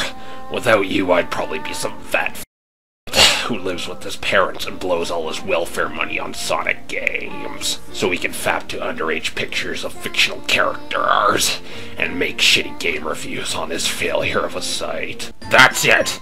Fucking Jason Griffith has gotta go! He's the reason why everyone hates me! Therefore, it's his fault! And of course, the magnum opus of them all, Jim 81 Jims, who you all might know better as Mr. Medicare these days, two hour series chronicling Spax's antics. Other people have come forward and they've done parodies, they've done spoofs, they've done all sorts of crazy shit. You know, I've seen animated series and I've seen rants and I've seen just a lot of really clever shit out there that's funny. That's funny, it's entertaining, and it's good. And what happens to those people? They get banned. They get kicked off of YouTube. They get kicked off DeviantArt. And, you know, it's it's bullshit. It's bullshit that he can wield that kind of power. It's bullshit that people will, you know, flag videos for him. He's got people flagging videos for him. I don't know how he started this little miniature empire on the internet, but he did. Uh, you, know, if, if you want to say anything about Spax, with all his faults, he has done that very well. He has built up his own little fan base very well. You know, if he had been smart, he would have just ignored it, and it would have went away. It completely would have went away. This would have died out. Nobody would have given a shit. But he couldn't ignore it. Or if he was smart, he would have done something witty. He would have done something funny. Would have fired back and said, you know, fuck you, uh, you know, video content creators. At least I make original shit. You're just, you know, you're you're taking what I do and you're, you know, twisting it. But you can't even come up with your own shit. But he didn't do that. Instead, what he did is he pussed out. He did the equivalent on the internet of what a kid would do in the classroom when they get made fun of. He ran to the fucking teacher. And we all know what happens in an elementary school or a junior high or a high school when you run and tell the teacher. You get your ass kicked. The class hates you for doing that. Nobody likes a fucking tattletale. That's what he is. He's a goddamn tattletale on the internet.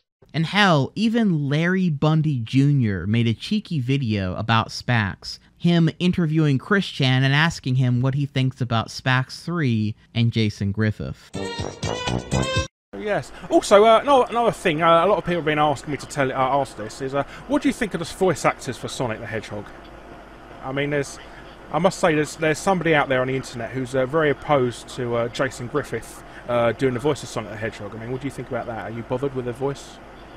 Mm, yeah, pretty much like the uh, original voice they've been going with this uh, whole time. Uh, changing it uh, would uh, be a, but I don't know if it, I mean I don't know if it would.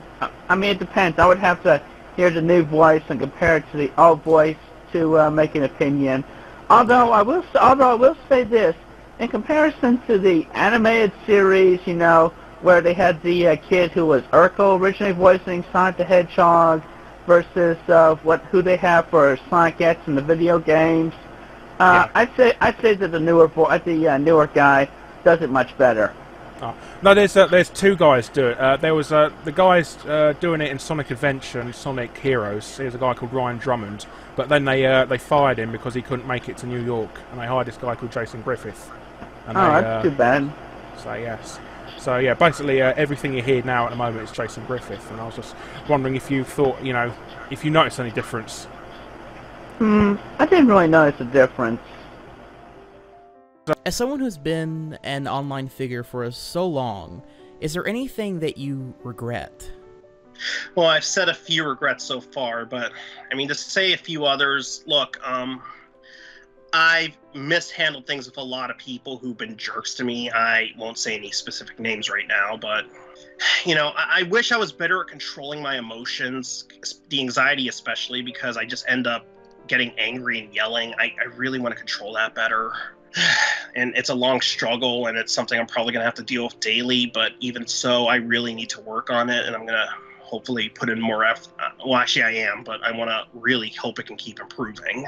Yeah, I wish I could have handled more of that stuff more maturely. And when it came to the reporting video stuff, I'm just gonna say I think so, I think some of this may have already come up in the video, but just so you could hear it from my voice, a lot of this came up when it came to pedophile slander, which that's disgusting and that's and using my content in a way that's defamation of character and you know attacking people in a way that's dishonest that's not fair use so that i had the right to report and a lot of people came to my channel attacking me for it some people may think it was this one guy who did it and maybe they know who i'm talking about but won't say their name and it wasn't really this one guy. I would have ignored that. It was people constantly coming to my channel and attacking me, and maybe they did because of this guy. So, I mean, maybe there was a bit of an influence there, but it wasn't the video alone. So, I really don't like them constantly taking credit for that. Uh, going on the DMCA things, when more stuff came up, I went way too far with it because there was stuff that was definitely fair use and not defamation of character, and that stuff that was fair parody and I heavily regret how far I went with this. That was not fair. It was not cool me. And to people who are willing to be reasonable about this, and I've said this in our videos, I apologize. And if you ever want to talk to me about it, as long as you're willing to be civil, I'm willing to do that. But if you're not willing to be civil, then I can't work anything out with you. And as much as something may have upset you, if you're not willing to talk to me like an adult, I can't fix anything or work anything out with you. I'm sorry. And, you know, recent stuff and how I've handled a few things, as I mentioned too, I do regret that. I want to be better as a person. I really do. Because I know there's some people who never realize their mistakes, they never learn. And I try to learn. There are things I have. Sometimes it's difficult for me to stick the stay the course because, you know, anxiety and such. But even then, I gotta take control of it. And if I do something wrong, even if it's a report, even if it's a cause of, you know, mental illnesses like depression or anxiety, it was still my fault. I've got to own it. So I'm not saying I'm not guilty. I mean, I want people to understand mental illnesses, but even so, they at least understand maybe there was more going on. But even so, I still got to take responsibility for it. So it is my fault if it happens, and I won't deny that. So keep in mind, I'm not going to try to use stuff like this as an escapism or get out jail free card. I made the mistake. I need to own it. But as long as you're willing to talk to me about it, I want to problem solve. And I really hope we can. Because, you know, I have listened to others, and when they brought some stuff to me and saying what I should have done, I have said, you know what, you're right. I should have done things this way. I should not, I should have tried to handle that better. You're absolutely right. I was not thinking that way before and didn't think that way till now, but you're right. And I apologize.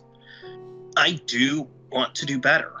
I mean, if you like my content or not, whatever, but as a person, just keep in mind I know I've made a lot of horrible mistakes. I know I have mishandled a lot of things. And there's sadly going to be issues I still probably will mishandle. It's not easy for me, especially with a lot of issues. But even so, I want to get better. I do want to improve. And again, where I screw up, I want to, I need to own that and I want to make up for it. So I just hope that can be understood because, yeah, again, people to hurt, people I've hurt and wrongfully so, I apologize. I would like to make things up with you.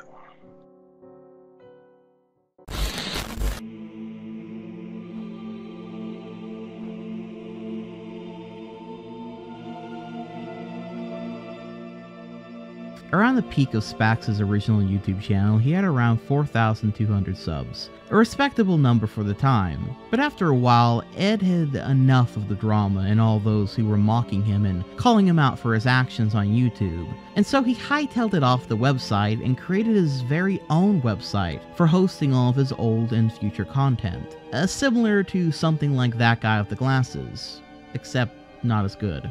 This website was titled The Game Toon Zone, and besides Spax, quite a number of other YouTubers and content creators would join in on the website.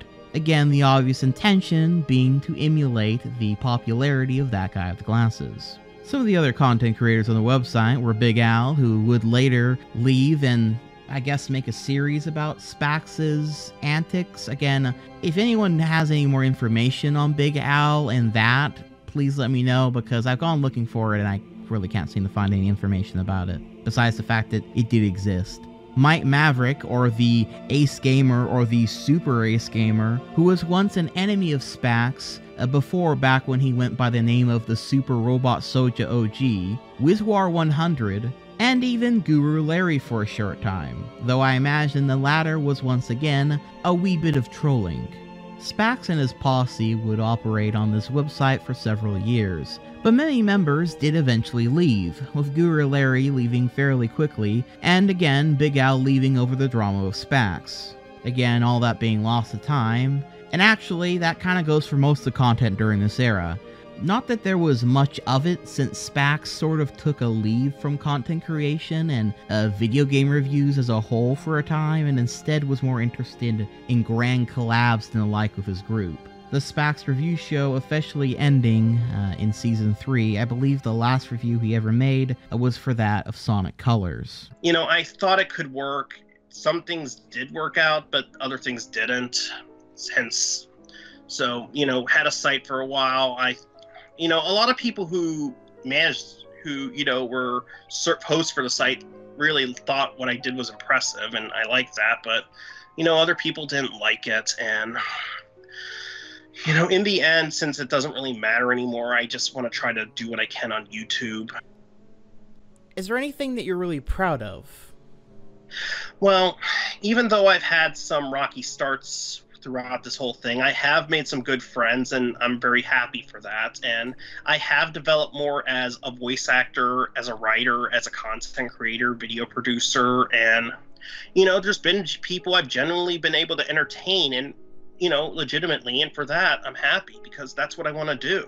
You know, what I started with Hooded Quickies and all that, I'm happy with what I did. I got to collab with a lot of people, I got to work with a lot of people, and I hope to keep doing that. You know, the friends I've made so far, I'm very grateful for. And there's other people I've had issues with, but made amends with you know, friendships can last a while and you can always be there for each other to help them. I mean, granted, I'm, I will say this just one thing on um, people who claimed, oh, you betrayed your friends, keep in mind, if I will be there for my friends, but if they are being horrible to me and they have no remorse for me, they're not my friends and I'm not going to be there for them if they're not my friends. But again, to those who we are able to work out, I am grateful for and I do hope I can help more of you and, you know, we can help each other to everyone i'll just say to has helped me and to people who've let me help them and we've been able to work things out and who've helped me improve and i've helped them improve from the bottom of my heart i thank you as a matter of fact, Ed was so invested in this big grand collab that he did eventually come back to YouTube with a new channel under the same banner of the game Toon Zone many years later, where the main type of content would be skits,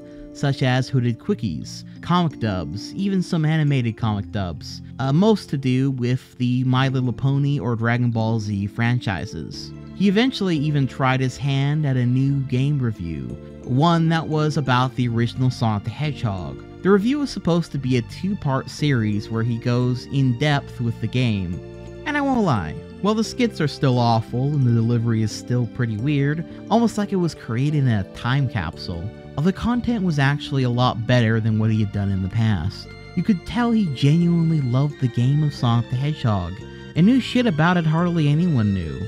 Well, except maybe Cyrus Shell, you know? Among this content, Spax also made a public apology to everyone about his past action and how he wants to move past them, and away from all the drama that he helped create. Now he just wants to create content, not drama, Spax had come back to YouTube a different person, someone who wanted to leave the past behind, things he had grown past, and just create content with his friends. It was a noble goal. It's kind of funny, actually. Most of Spax's actions had largely been forgotten online as well, unlike others of his kin like Chris Chan or even Richard Kuta, who whether they deserved it or not, had the spotlight constantly on them and a barrage of people constantly documenting them. While Spax on the other hand had largely escaped the spotlight and lost the attention of ED and never really got the attention of Kiwi Farms at all. No, instead Spax pressed forward with his new internet life. It took him a while, but maybe he had actually learned his lesson and grew to be a better person. But I'm sure you've noticed, I haven't shown nearly any of the content from those videos up to this point. And that's because, well, it's all gone. Ed had been making content for this channel for several years at this point, but it all eventually, like it always does, came tumbling, tumbling down.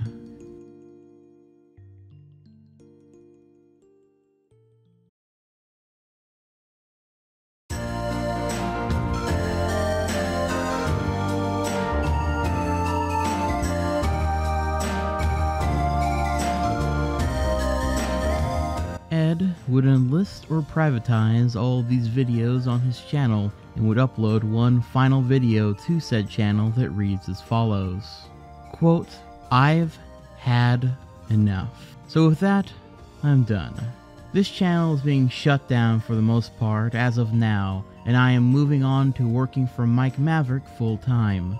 I've had too many setbacks, and I honestly can't take it anymore. Unquote.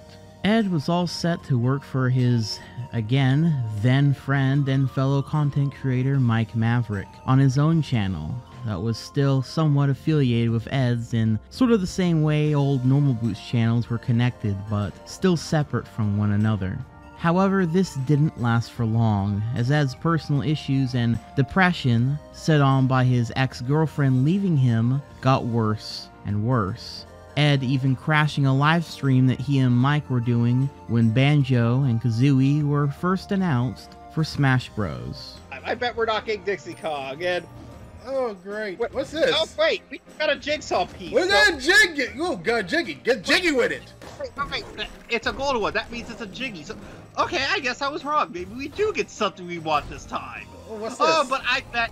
So, yeah, a jiggy means banjo because we've. Oh, I bet it's going to be that shitty, horrible design from Nuts and Bolts that they use in that Sonic crossover game. You know it's going to be the case because, let's face it, Rare likes. Rare Microsoft like to They, they fucked up Conker with that young Conker thing, so you know it's gonna be something shitty like that. Oh, and the Duck Hunt dog is being a dipshit again, of course, and and of course let's do the tease like we did for K. Rool and oh, never mind, I take that back. Um, it's actually Banjo Kazooie in their original design. Can I say you, something? Actually, redeem your. You actually helped redeem Banjo Kazooie here by actually restoring them to how they should look. And forgot gonna give them more uh. realistic features with the fur and the feathers, but they still look like how they should. So, thank you, Nintendo. You made sure Banjo Kazooie were saved here. Banjo Kazooie actually look awesome. So, you know what, Nintendo? I give you a salute here. You actually did not fuck this up. Oh, and Gruntilda looks awesome too. Can I? Oh, the final smash is the Jinjonator. That is awesome. So you know what, Nintendo, you are the ones who are gonna save Banjo Kazooie. He just ever since when Microsoft took over, got Rare, they fucked up Banjo Kazooie nuts and bolts. The game was not that great, and the design they fucked over the design horribly. But here, you used the original design. You were going old school. This is how Banjo Kazooie needs to be. So you know what, Nintendo? Buy yourselves, uh, everyone there, buy yourselves a goddamn fucking beer. Can I please say something? Damn it! Hey. Hey. Hey, you know I don't like being interrupted, but hey, I was talking this time. I just wanted a chance to finish. There you go. Now speak. Never mind.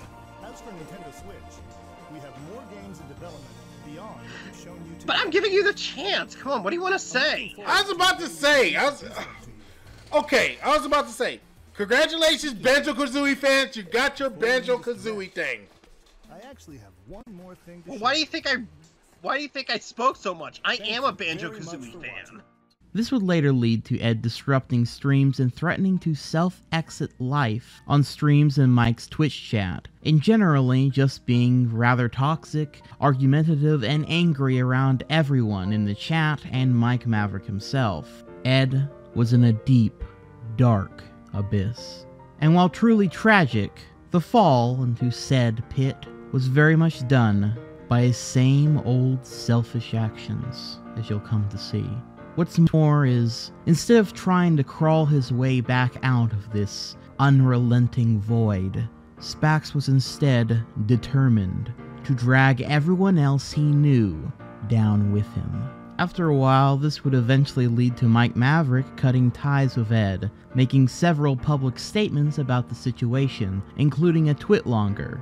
This was rather significant, as before this time, Mike Maverick had actually made a video on his own channel in defense of Spax's old actions on his old YouTube channel, letting people know that the guy had finally changed, and that it had been a long time since those things had happened, and it was best to let things finally go and to ultimately move on. However, Mike's Twitlonger detailed quite a different story, one about an abusive and emotionally manipulative friendship that he's had with Ed for some time now. And with this Twitlonger and this final cutting of ties with Spax, the floodgates were then opened, and Ed's behavior over the last several years towards his friends, his peers, and his enemies all of it was ultimately exposed to the world via Mike Maverick's then Discord server, linked at the very bottom of said Twitlonger.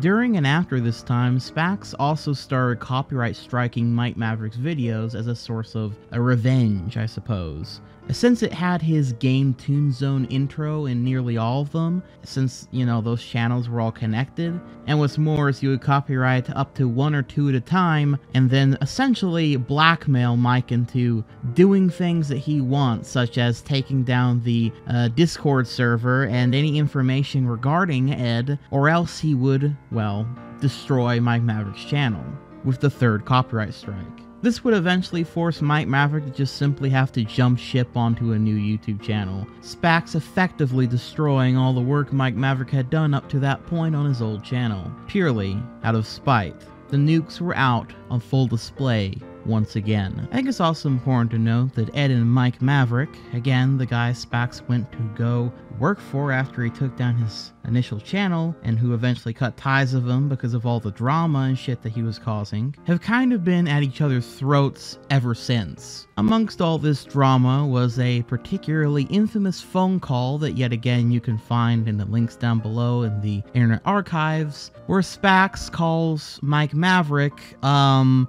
well... I mean, here's the thing. I, I don't want to really if Mike could get better, I would like that. I don't know. I don't think I'd ever want to be friends with him again, but I want him to improve. I really do. What she did, nothing she did was okay. She outed me publicly. I did not try to do that to her. She did not give me a chance to explain anything on my side. She just showed favoritism towards a nigga who basically lies and is trying to basically make himself famous with no regard for how he hurts other people. And no, I don't care what you say about me using the N word. This one man, this one man, I've earned that on. And originally, Mike Maverick was calling out Spax over his toxic actions and activity on a very public manner on Twitter, while Spax was trying his best to keep it all private so no one would know all the shit that was actually going on. This would eventually lead to Ed's mother calling Mike Maverick on the phone, something that again is documented and you can actually listen to. Ed would later make an official comment about this via Facebook, which he would of course have privatized at the time, and only a select few people could see this long rant, which reads as follows. Quote, this post is only to be seen by specific people who have my trust. I've posted about various people as of late, one of whom is Mike Maverick, aka Mike Lafayette, aka the Super Robot Soja OG. Well, my mother, who was a witness to this, called him today, and while I didn't hear Mike's voice, my mom's response, due to how this way, was more than enough to reveal the content. Mike said, when my girlfriend broke up with me, I should have just gotten over it. Okay, I was in a relationship with my girlfriend for about five years. I loved her with all my heart and I wanted to marry her and discussed it with her. She basically threw me away, and she did it in a cowardly fashion of text only. Before, as I learned when her dad spoke to my mom, he said on her behalf that she still loved me and was not going to break up with me. But a few days later, she backed out of that statement. Considering how much I loved her, there's no fucking way I was going to get over this from the get go. Anyone who thinks so is a fucking monster. He responded when asked, what if he was in the same circumstance? Would he get over it? And from what I heard, he said yes. So this means he must not really love his girlfriend after all. Update. I was never corrected until now. He said, I don't know, not yes. Adding to that, his brother died in his arms, and it made him terribly depressed for a long time. So I guess I should have been telling him to just get over it, if that's how his mindset is going to be. In all seriousness, that was a horrible and traumatic thing for him to go through, and it's awful for anyone to go through. Uh, but while his trauma may have been one of the most severe that not many would suffer from, it doesn't invalidate my own or anyone else's either. And for Mike to fail to realize that, it doesn't make me sympathetic for his own grief and experiences in return. So he's going to treat others facing some grief like shit? Why should I be compassionate about his own grief? To me, this is the ultimate sign of Mike's hypocrisy and heartlessness, and why I can never forgive him. Unquote.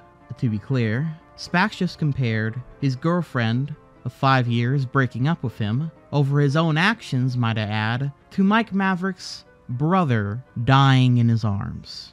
Very classy. It was around this time when I originally got involved with all of this. You see, I had always wanted to make a video about Spax 3, mainly because, well, he was one of those YouTubers that I always remembered from my childhood, but I very rarely saw anyone bring him up these days. Originally, I wasn't going to make that video because it seemed like Spax had made a turn for the better and I didn't want to drudge up old drama if he was doing perfectly fine again. But then, of course, all this drama unleashed, and everyone started showcasing all their clear cut evidence of Spax being abusive and terrible over the last few years. showcasing that he in fact had not changed. He just got better at hiding it. All that being said, even with all this insurmountable amount of evidence, I also wanted to hear Ed's side of the story, because I thought, if nothing else, it was worth at least hearing him out for the sake of looking at this whole situation as clearly and objectively as possible. So I reached out to him and asked him if he'd be willing to have an interview over this upcoming video. He, uh, didn't take too kindly to the offer at first. In fact, he originally tried to take down my Twitter page by reporting several of my tweets that had his pictures in them. However, eventually Spax did relent and for what it's worth, decided to actually hear me out and have a fairly cordial interview and conversation with me. Thus, the interview clips throughout the video. Now, you're probably wondering, uh, what exactly started all of this? Spax seemed to be on the right path for a while. It's the reason why there's not a lot of things to say during the time skip between the old days into the more modern drama of Spax. Because while there was plenty of videos that he made, any drama was definitely put off into the background pages like his Encyclopedia Dramatica would simply update it occasionally just to showcase that he's still making videos and that he was a brony now. And that was pretty much all anyone ever really knew after this new channel went up. And to anyone new, or even someone who had known Spax back in the day, if you went to that new channel for the several years that it was up, it seems as though Spax had a group of friends who supported him, and who he seemed to support as well. That he was no longer embroiled in internet drama and was just simply done with all that shit. So, what brought him back to this point? Why was he now blackmailing his friends and destroying their YouTube channels? Why were all his past friends and peers now seemingly coming out of the woodwork to air out their grievances that they've had with this man up until this point? What was the beginning of the end?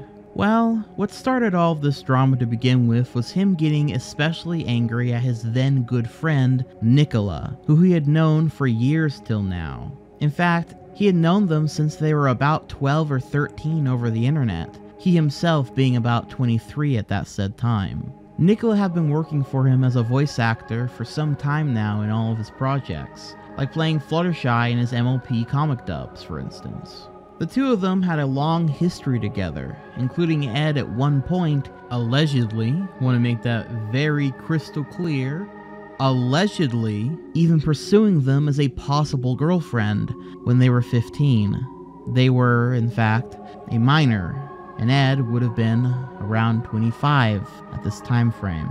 It is important to note there was an actual occasion when the two of them met up in real life, and much of this is detailed in a long post by Nicola themselves that you can read in full in the description box down below for more context into their history together. I'd also like to note now that this information and allegations was not readily available or apparent to me during the time when I first made this Spax 3 video over two years ago. This was a much more recent development, and I would also like to note that Nicola did not make this document as a sort of expose to destroy Spax's life, but it was instead spurned off of the fact that he was yet again very angry at them, both Nicola and Mike Maverick, as well as that entire group. And so, he decided to make a document of his own, relaying his own version of the events of their friendship and eventual, well, non friendship. That document is titled The Issues of Nicola, and it was because of this document that Nicola felt that it was only right that they also make a document relaying their own side of the story and their long and, well, rather toxic and parasocial relationship with the individual, Spax 3 or Ed. Again, you can read the full document as well as watch all the videos that I showcase of Spax here in the links down below. But I think it's important that I at the very least read a few excerpts from this document. Quote, Back in the year 2007, I became a fan of the Sonic the Hedgehog video game series after getting my PlayStation 2 and a copy of Sonic Heroes. As a Sonic fan, I'd go on to YouTube and browse the various Sonic related videos, and that is when I first saw Ed, Spax 3, and his review of Sonic and the Secret Rings, as well as his many other reviews. I was a preteen at the time and didn't understand the full extent of all the drama surrounding him, or the reputation that he had online at the time. Two years later, in 2009, I had just started high school. I became familiar with a program called Skype, which I could use to talk to fellow Sonic fans and sprite artists. On DeviantArt, I reached out to Ed and asked him if he had Skype. I recall asking him why he didn't like Death Note. He added me straight away and we got to talking. He answered my questions in a friendly manner, and all I could think was, oh my gosh, a YouTuber I really enjoys talking to me. Being 13 years old, I didn't have a full grasp of the toxic nature of parasocial relationships. That is not to say that making friends with YouTubers is bad, it's simply highlighting the power dynamic between fan and their favorite creator, not to mention the age gap. At the time, I was just happy to get to know him. He was a fun friend to talk to, and he'd make funny jokes that made me laugh. I still look back at those days fondly. A few years later, at the age of 15, I was in an online relationship with my then boyfriend, Jonah, or Spike Hedgegillian 8. It was cliche teenage young love. Completely out of nowhere, Ed confessed having feelings for me. This was particularly annoying because I'd already had a bit of an experience from people, mainly cis men, confessing feelings for me when I was already taken. Because of how much I cared for him, I wanted to let him down easy. Admittingly, I did low key have feelings for him as well, but the age difference alone should have made it clear that it was a bad idea to pursue. I finally gathered up the guts to tell Ed that I wanted to be with Jonah. I thought he'd take it well, but he ended up being really upset. Ultimately, I thought we would put it aside, but he continued to have feelings for me and continued pressing the issue despite me making it clear that I didn't want that kind of relationship with him. Ed would start writing me poems and sending me gifts, which I didn't mind at the time, because I still viewed him as a friend. Other friends were starting to tell me that they thought Ed was being manipulative or controlling, and every single time, I would get defensive on Ed's behalf and defend his behavior. I looked up to him so much that I developed this idea that he was just misunderstood, and any warnings from others were just people who weren't giving him a chance. This only got worse over time. Unquote. The document then goes on about how they eventually began to work for Spax under the Game Toon Zone website and how there were good times and bad times all the same. Quote, he would get angry at me for being unavailable or wanting a break from him. I did all I could to be a good friend to him, even if it was only to my own detriment. But it was never enough. If I couldn't cater to him 100% of the time, he'd get angry. It got to the point where I was simultaneously dealing with the stress of defending Ed to my friends who were trying to warn me about him and also feeling mentally abused by Ed. I cried a lot. I was going through so much. I couldn't deal with the entitlement anymore. Nothing I ever did was good enough, but I still tried to be his friend despite it all. Unquote.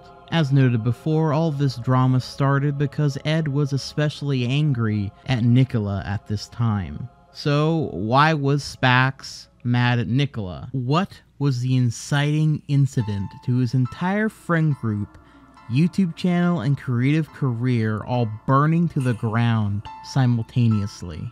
What was the chain reaction to where Spax would eventually have his girlfriend break up with him, take down his YouTube channel, go work with Mike Maverick, for him to then destroy Mike Maverick's channel whenever Mike had had enough of his drama, to me, eventually interviewing him and making that video two years ago. Well, it all actually, if you can believe this, started over a Discord server and uh, Nicola putting in a bot called Pokecord, which Spax would then later delete, um, which apparently they got upset about and made sad emojis on the Discord server, which Spax took as them vilifying him, which started an entire chain of conversations, which would eventually lead to Spax getting so angry and upset with Nicola that he would post pictures of his face and arm cut up,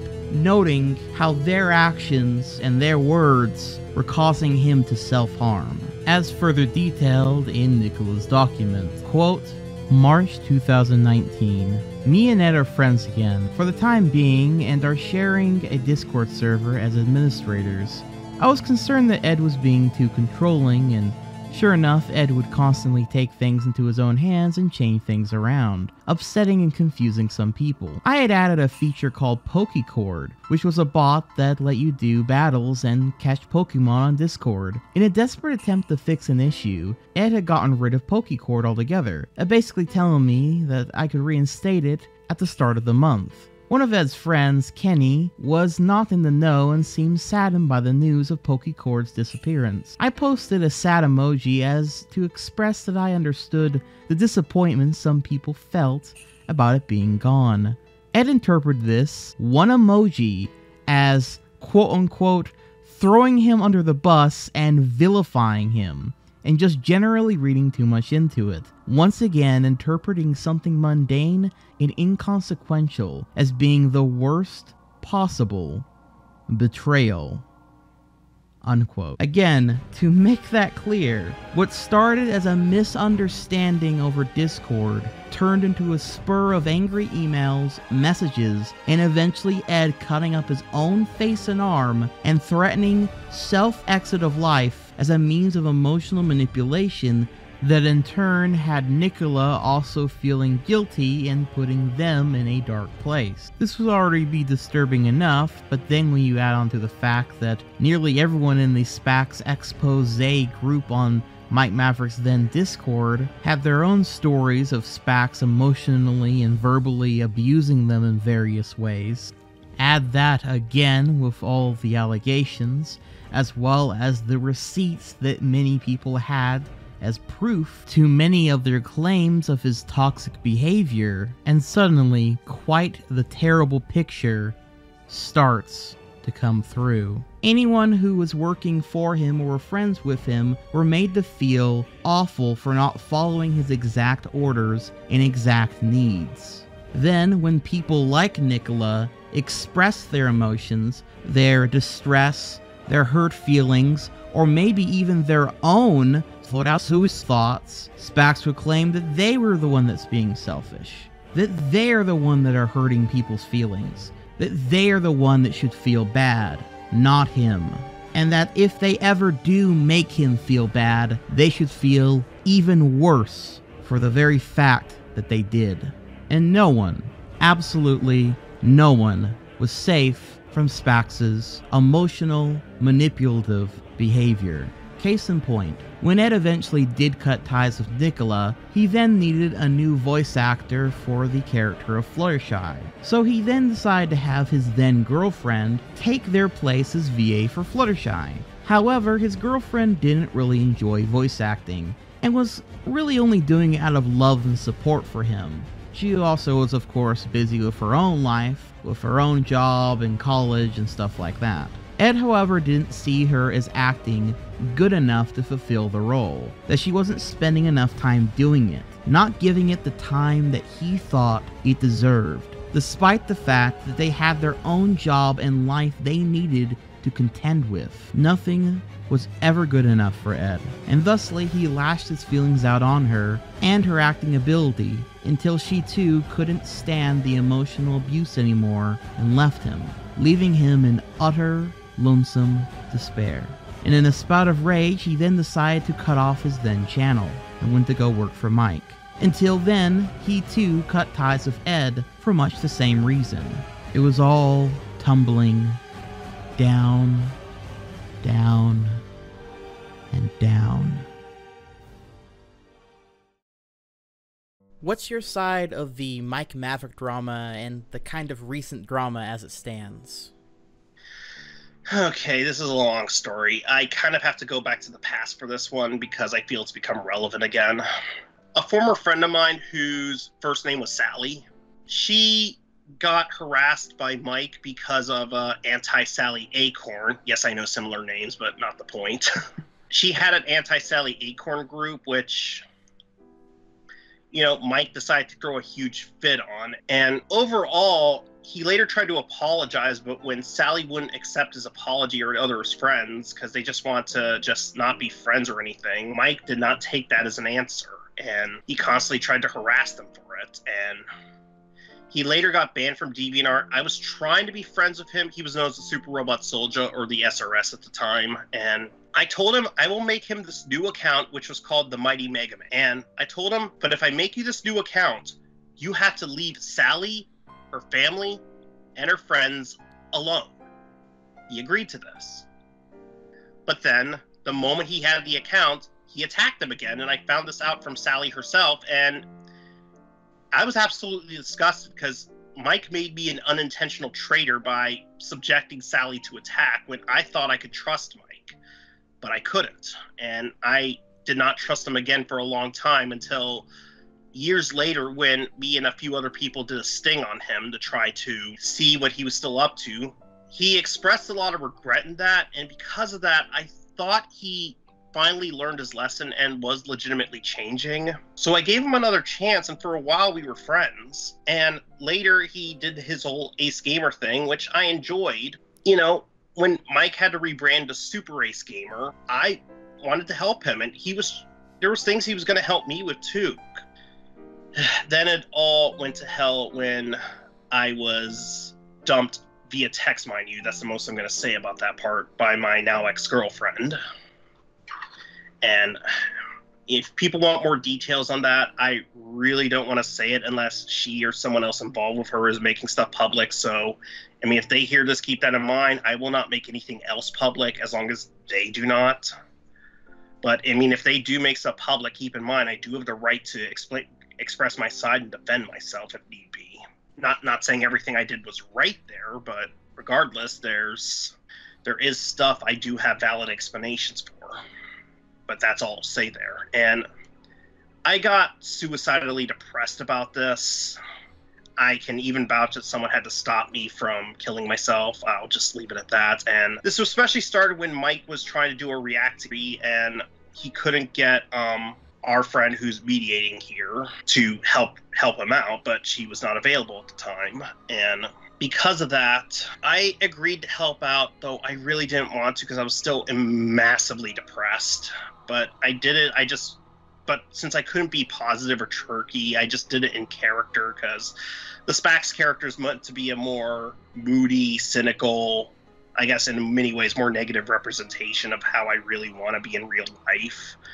But since I just couldn't be positive, I just figured, you know what, I'll just act in character. And one part I overtook too much, which you know I regret. And in the end, I just hated doing this whole thing, and it just made me more depressed. And I just constantly expressed how I just don't want to live anymore after this because nothing mattered to me.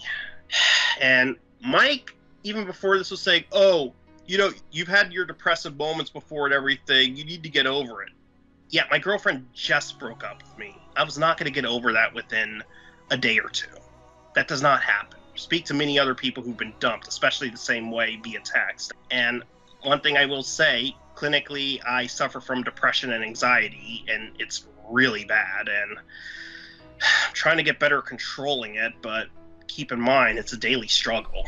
Which is why after this I want to, re- I, and I realize how some of my other friends who have these issues are. It's why I want to try to do more for mental health. But you know, after this whole incident, Mike instead of trying to care about me, understand what I was going through, he did a hate group behind my back, which I do have some evidence of, and others can vouch for this. I mean, yeah, I wish I didn't have a breakdown on his stream during that time. I was just at my worst. I, I should not have been there. I should have just said, you know what, this was not a good time, and I should have left. I, you know, I did post about this on my Facebook, but I said it to specific friends, not the general public, because you know I wanted to express what was going on to some people, but I wasn't trying to ruin Mike's reputation to general public. But Mike, however, did not care about this. He did go to the general public, Twitter and everything, and you know, me and others were trying to get him to stop, including our mediator here to a degree, and he never would. And he called, oh, me being feeling suicidal and depressed over my now ex girlfriend dumping me is the most pathetic thing ever. Yet he had, I dealt with someone who threatened it over something worse, and something I'll get to also adds to the hypocrisy there. But along that same post, he also attacked the friend I made up with because he didn't really want to talk to Mike at the time. He wanted to just try to work things out me at the time and just, you know, not deal too much of the drama. And he, he didn't really tell Mike that and me, so his fault on his part. So maybe he should have explained that better. But you know, he, he's acknowledged that, so don't worry. He's willing to learn from his mistakes. But even so, he didn't do anything to the public to vilify Mike. Yet Mike name dropped him to the public to vilify him. And yeah, since this guy was not attacking Mike, that was really really bad of him. And he, he's name dropped a lot of people before when it comes to issues with him. So a lot of people feel they have the need to defend themselves with him as i've seen as of late because it wasn't just me who had an issue with him. I found out he was repeating kind of i mean he repeated lying to me again when it came to the you know lying to me about that server he did and how he was handling things with people or me and such. So the lying thing he repeated from those years ago. But even more, he repeated he was harassing other streamers, female ones, from what I've seen again. And you know, when he made a mistake, he he's tried to go, "Oh, I'm sorry," but when they didn't accept, he either attacked them again. And some of this I have seen on Twitter, or he made alternate accounts to keep attacking them, which he's done before on DeviantArt. So, so it really shows that after a decade, he has not changed. And at the current time of this recording, he's 37 years old, which is older than I am, and it's it's really not okay.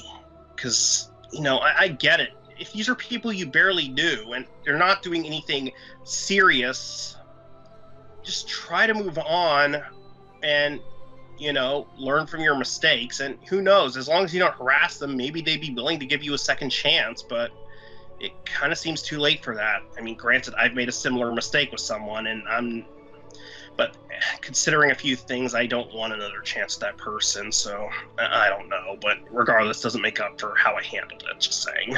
You know, I didn't say anything public about Mike until that point when other people were calling him out, and it opened the floodgates for me to respond to it. And all, uh, all my public responses to Mike were just responses to these people who were talking about him because again it opened the floodgates.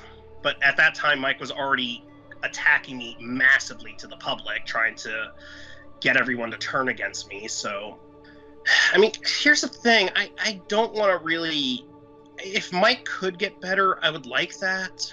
I don't know. I don't think I'd ever want to be friends with him again, but I want him to improve. I really do honestly, I really do want Mike to get the help he needs because, you know, I don't want him to be a bad person. I don't want him to do these things. I and if he really wants to be a good person, I want him to have the chance to be that. I really do.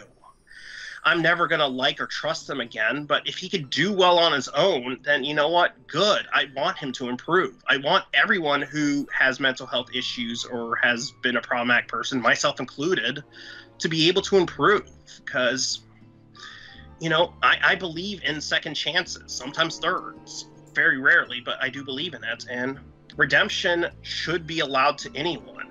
I, I guess i'll say that and if he's listening to this and he takes this out of context and responds well, keep in mind i was asked about this and i'm just giving my side since mike keep in mind you kept tweeting and i think on facebook doing multiple things saying either raging at me, saying half truths or non truths. So you've given me the opening to be allowed to say my side, and I, I have the right to defend myself.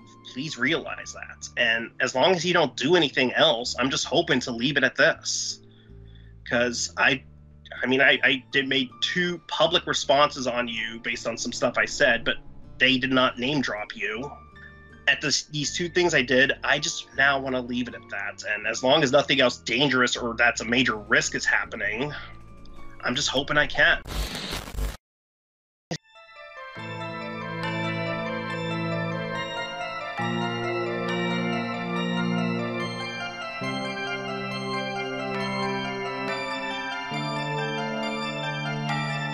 Everything Spax has built up over the last few years was now efficiently destroyed.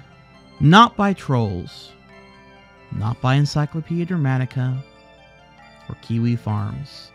Not by his enemies. No.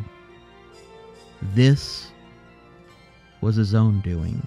Spax had managed to gain something that so few people like him with such an infamous past rarely get a second chance. And by his own hand did he destroy it all. Others came from the shadows to share their stories of Ed's abuse and behavior over the years. Stories of him manipulating people who worked under him, of him verbally and mentally lashing out at others on a constant basis, of threatening his life. There's some that call him worse than Chris Chan, a narcissistic man-child who had brought everyone down around him.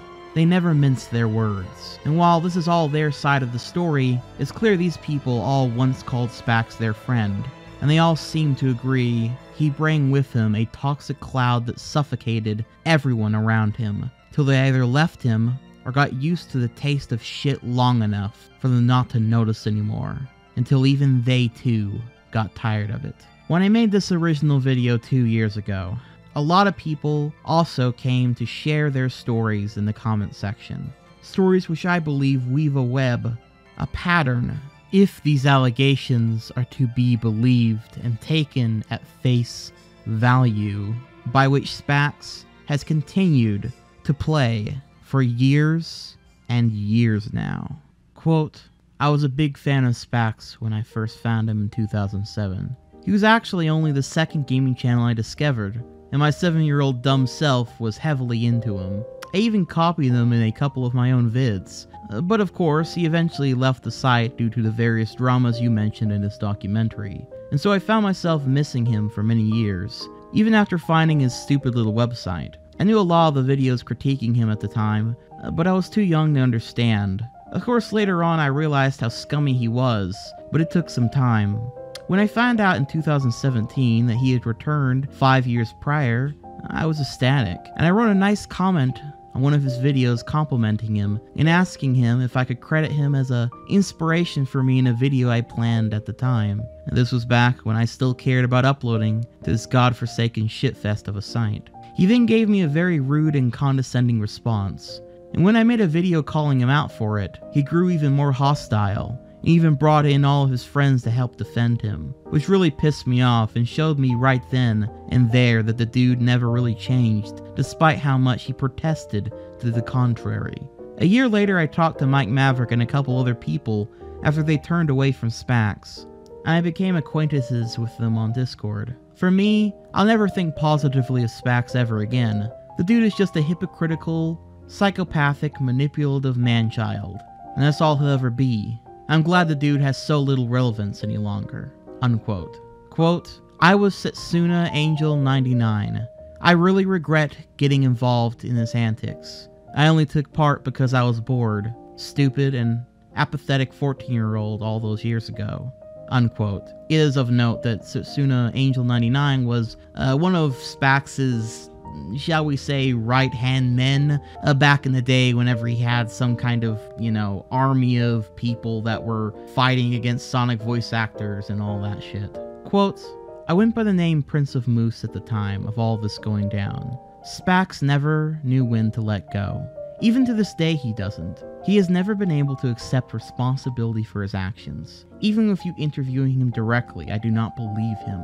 If he truly wanted help, if he truly wanted things to get better, then he would have spent the past 12 years doing so. However, all he did was psychologically manipulate people to his side and have his ego stroked. He has made more victims for his abusive behavior. He is 35 years old now. He needs to start either acting like an adult or just close himself off to everyone. I personally do not care which at this point. It is no skin off my nose what he does, but I do feel bad for the people whom he did manipulate.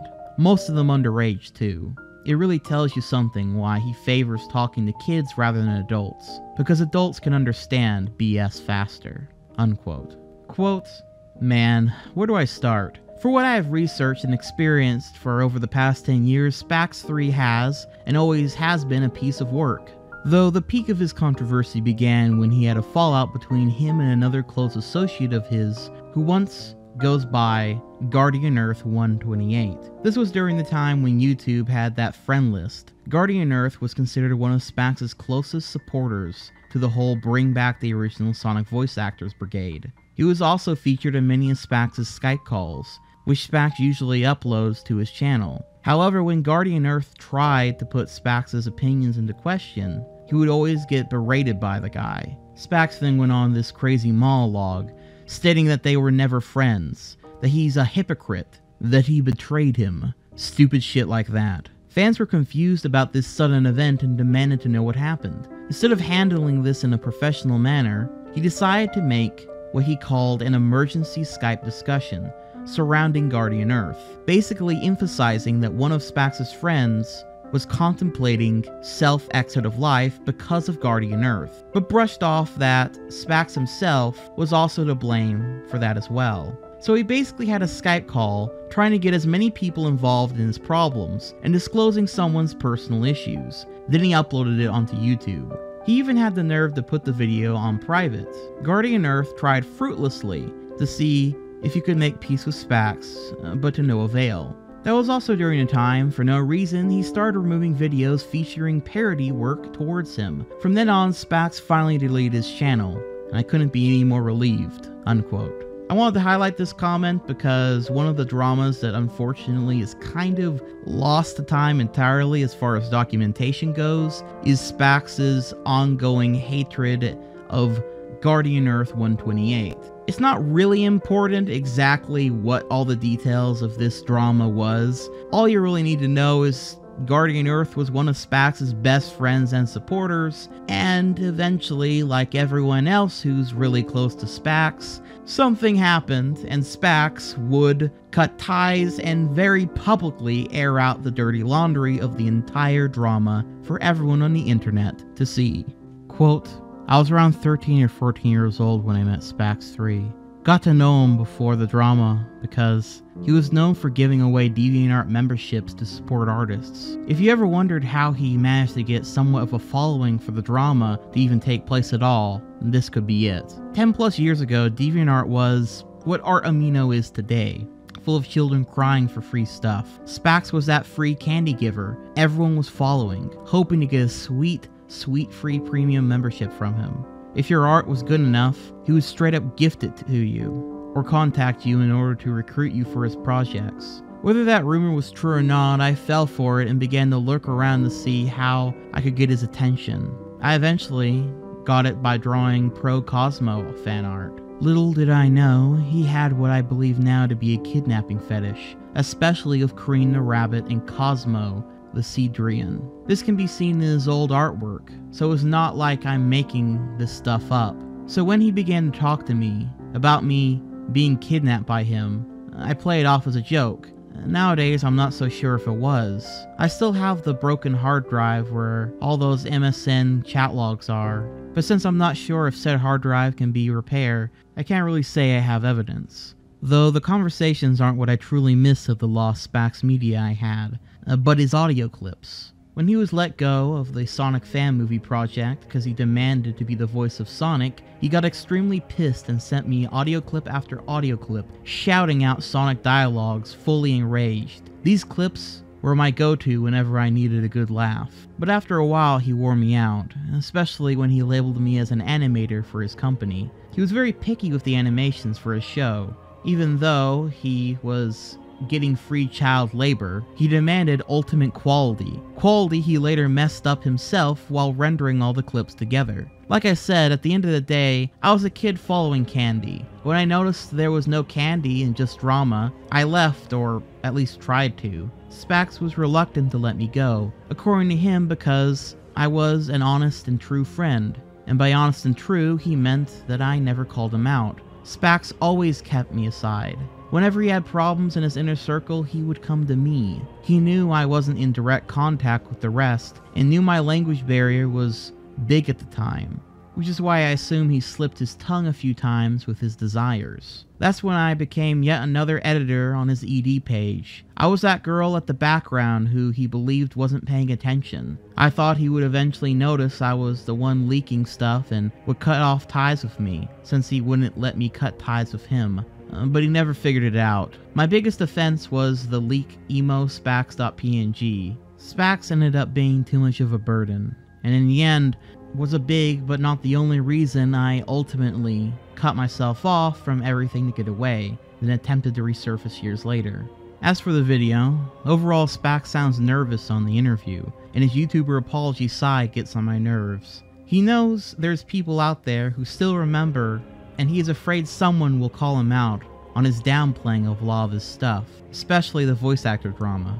Just to make it clear, his YouTube train wreck in 2007 was an attempt to become an influencer so Sega would take him seriously. I kid you not, that was the master plan, as simple and stupid as it sounds. However, he began at least in 2005 with DA journals complaining about the 4Kids cast. Unquote. I could go on and on with these comments honestly, uh, but with this director's cut, I wanted to give these people the chance to showcase their own grievances and stories with Spax as an individual, since with the interview in this video, he has more than gotten his chance to say his piece. There are honestly so many comments that read nearly exactly the same way, whether they only knew Spax for a very short stint of time or knew him for years. It all seems to ultimately end the same sad, ugly way. What's more, in recent years since my original video, channels like the Forgotten Archives have uploaded Spax's old videos onto YouTube, as well as the Internet Archives, including some rather rare ones that made making this director's cut much more complete than the original. And thus, he quickly got back up to his old tricks again and started taking down the Forgotten Archives videos as well, and it had even gotten his original channel on YouTube completely taken down due to this. The Forgotten Archives even made a few videos responding to Spax directly, uploaded video rants from other people who too had grievances with Spax. You can find all of this stuff, as I said before, in the links down below, which leads to an Internet Archive page with everything since Spax continues to take those videos down. All this over the recent years spelt one thing out. One irrefutable truth. That Ed hadn't changed. Because changing is the hardest thing to do. It's just so much easier to be a part of the abyss, to sink into that darkness that the internet can breed, until eventually you become that of the abyss itself, until the chasm of darkness seems like a loving embrace compared to who you are once you've reached its very bottom. The abyss finally being replaced with the monster you've become.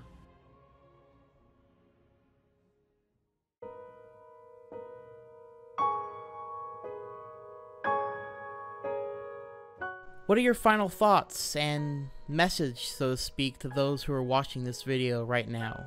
I guess one thing I want to add my negative stuff, I guess the fact that I've been through this, it's humbled me more, made me have less of an ego because I've seen some people with really bad ones who get too much praise. So I guess from some of the negative stuff I face, I'm grateful that happened because I don't want to be egotistical. I don't want to think I'm better than anyone else. And, you know, to the message, look, I know I did a lot of bad stuff here, and I know this video is going to show it, but Dylan said he's trying to be objective and fair to the bad stuff, the good stuff, and, you know, showing where I want to change and maybe where I need to improve. And the fact that he's willing to do the video this way and willing to give me a chance, you know, I, I just hope that other people who come across me, they're willing to understand I do want to do better. I do want to hopefully improve. And, you know, people who may not like me, give me a chance. If I, again, again, if there's someone I wronged, I apologize. And as long as you're willing to be civil with me, I'm willing to work it out. I do want things to improve not just for me. I want things to improve for other people. Even people I don't like, I want them to be able to do their best. And if they have really bad problems, I want them to get the help they need. I mean, yeah, I can get angry and hostile towards people if they really, really, really hurt me. And I got to work on that. How I handle that is, and since I want to do better with mental health now, that's something all the more at, than ever I got to keep mindful of. I can't promise I'll always succeed because, you know, sad, sadly, emotions, especially when you have clinical problems with them, can, you know, get the better of you. To everyone who listens to this and is being fair about it, both the good and the bad, I thank you. And, um, you know, and if people who've known me for a while learn about some of my past history, I just hope that you can understand. I'm not proud of a lot of stuff I've done, but I don't want to define who I am personally, and it's stuff that I know I want to fix. And that's because there's a lot of other people out there who've done a lot of things wrong too. Some lesser than me, some worse than me, some equal to me. I want everyone to get the help they need if they're willing to get that help. If they're not willing to get that help, then yeah, I guess be weary. Those were Spax's words, his thoughts, his feelings, the answers to my questions two years ago. It may seem almost unfair to then approach it two years later, knowing full well how dated those questions' answers truly are by now. The optimist in me wants to say that in spirit, Ed still wants to live by those words and be a better person. But the realist in me also sees that he's still very much in the same abyss, the pit he was in the last time I talked to him. For as much as I talk about it, document it, and warn you about it, what is the pit, the abyss, the void by which I speak of? If I'm gonna sue someone, I'll sue an adult. This man is a toxic bile. I was an asshole. I was a monster. And this is my biggest regret. Goddamn fucking! I don't really believe in the thing of good or evil. I'm not a saint, so don't really give me that shit. If I talk to him, I'm flat out telling him. Enjoy your last week alive. I'm flying out. A good knowing creature. To me, evil and good and evil are just words. The astute among you may answer this question with the internet itself. The web of infinite streams. The ocean without a bottom. It's a good guess. But this time, this time you'd be wrong. No. This time, when I refer to the pit, I am directly talking about Alexander Edison Prins Stairs and all others of his ilk.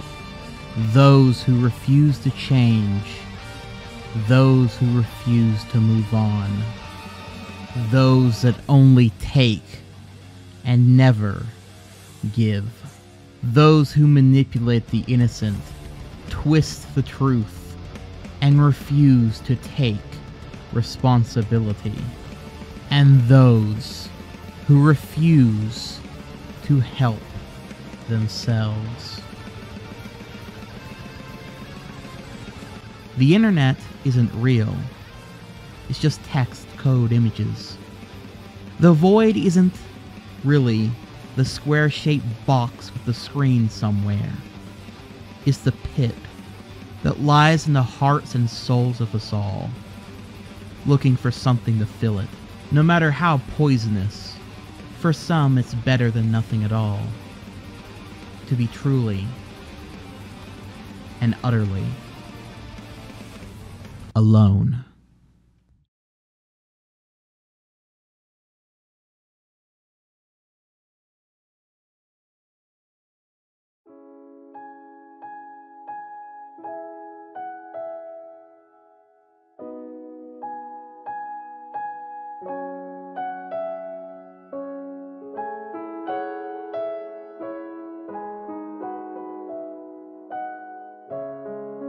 In the end, what is the fable that this story provides? What is the message? Ed has clearly been hurting others for some time, and it seems any friend he has is destined to one day be his enemy, or worse, his victim, should they not stand up for themselves in time. He has also greatly hurt himself, like so many internet fools who refuse to learn their lesson, to change, to be better. Ed says he regrets some of it, but there's always an excuse for why it's not his fault. How it's always somebody else who caused the issue.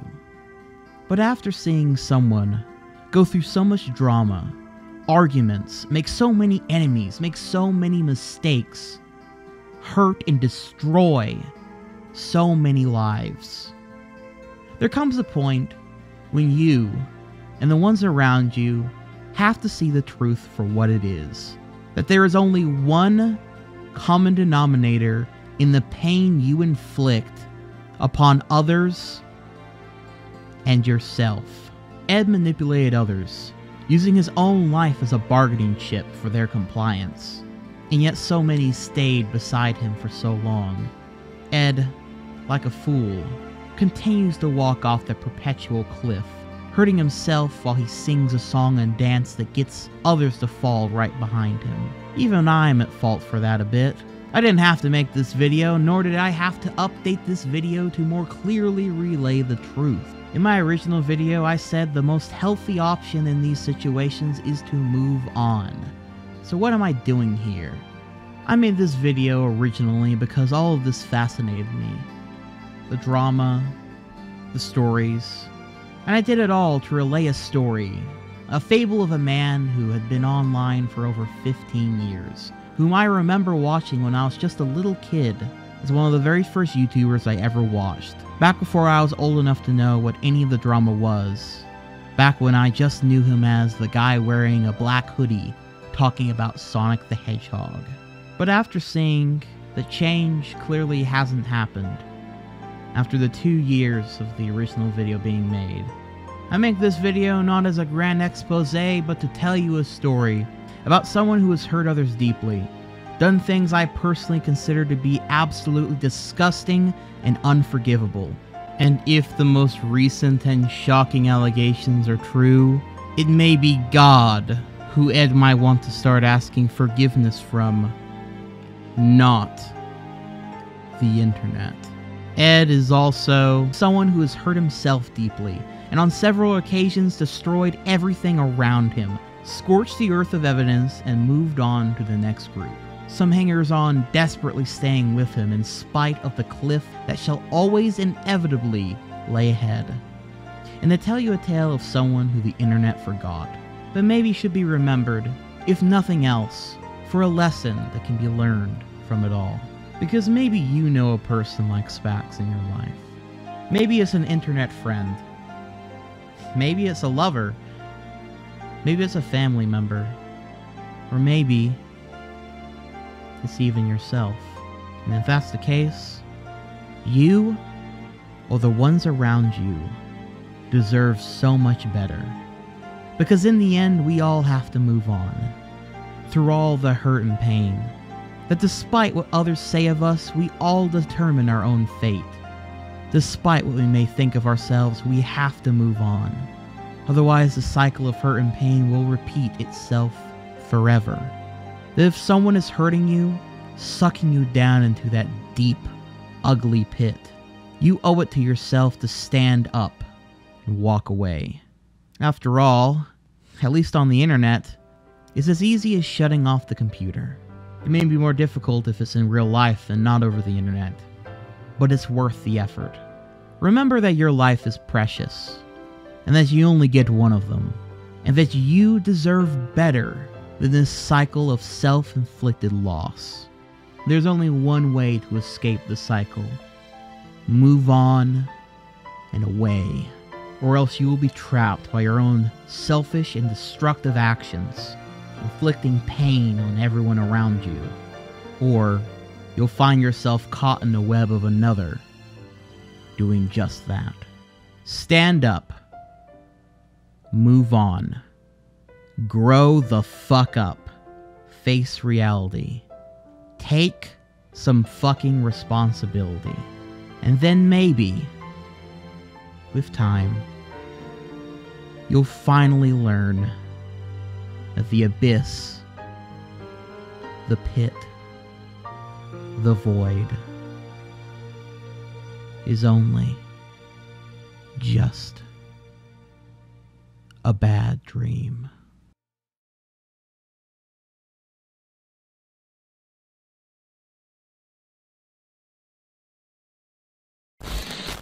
Well, that was quite the ride.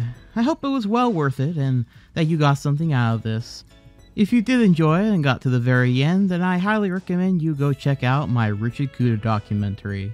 There will be a few smaller Internet Fables episodes coming out in the near future, but the next big project is going to be the Nostalgia Critic slash Channel Awesome slash That Guy of the Glasses multi-part ultra super mega retrospective. I think you get the point. Shout out to all my patrons over on Patreon, all of whom from any tier get access to my Discord server where from now on, at least twice a week, we're going to be having Nostalgia Critic slash Linkara slash General That Guy with the Glasses watch parties until we finish literally every single fucking episode in uh, preparation for this grand retrospective. So, you know, if that sounds like fun to you and you'd like to hang out and watch some quality content, then consider supporting me on Patreon. A particular very special thank you and shout out to my great night owls, Macabre Kaiju,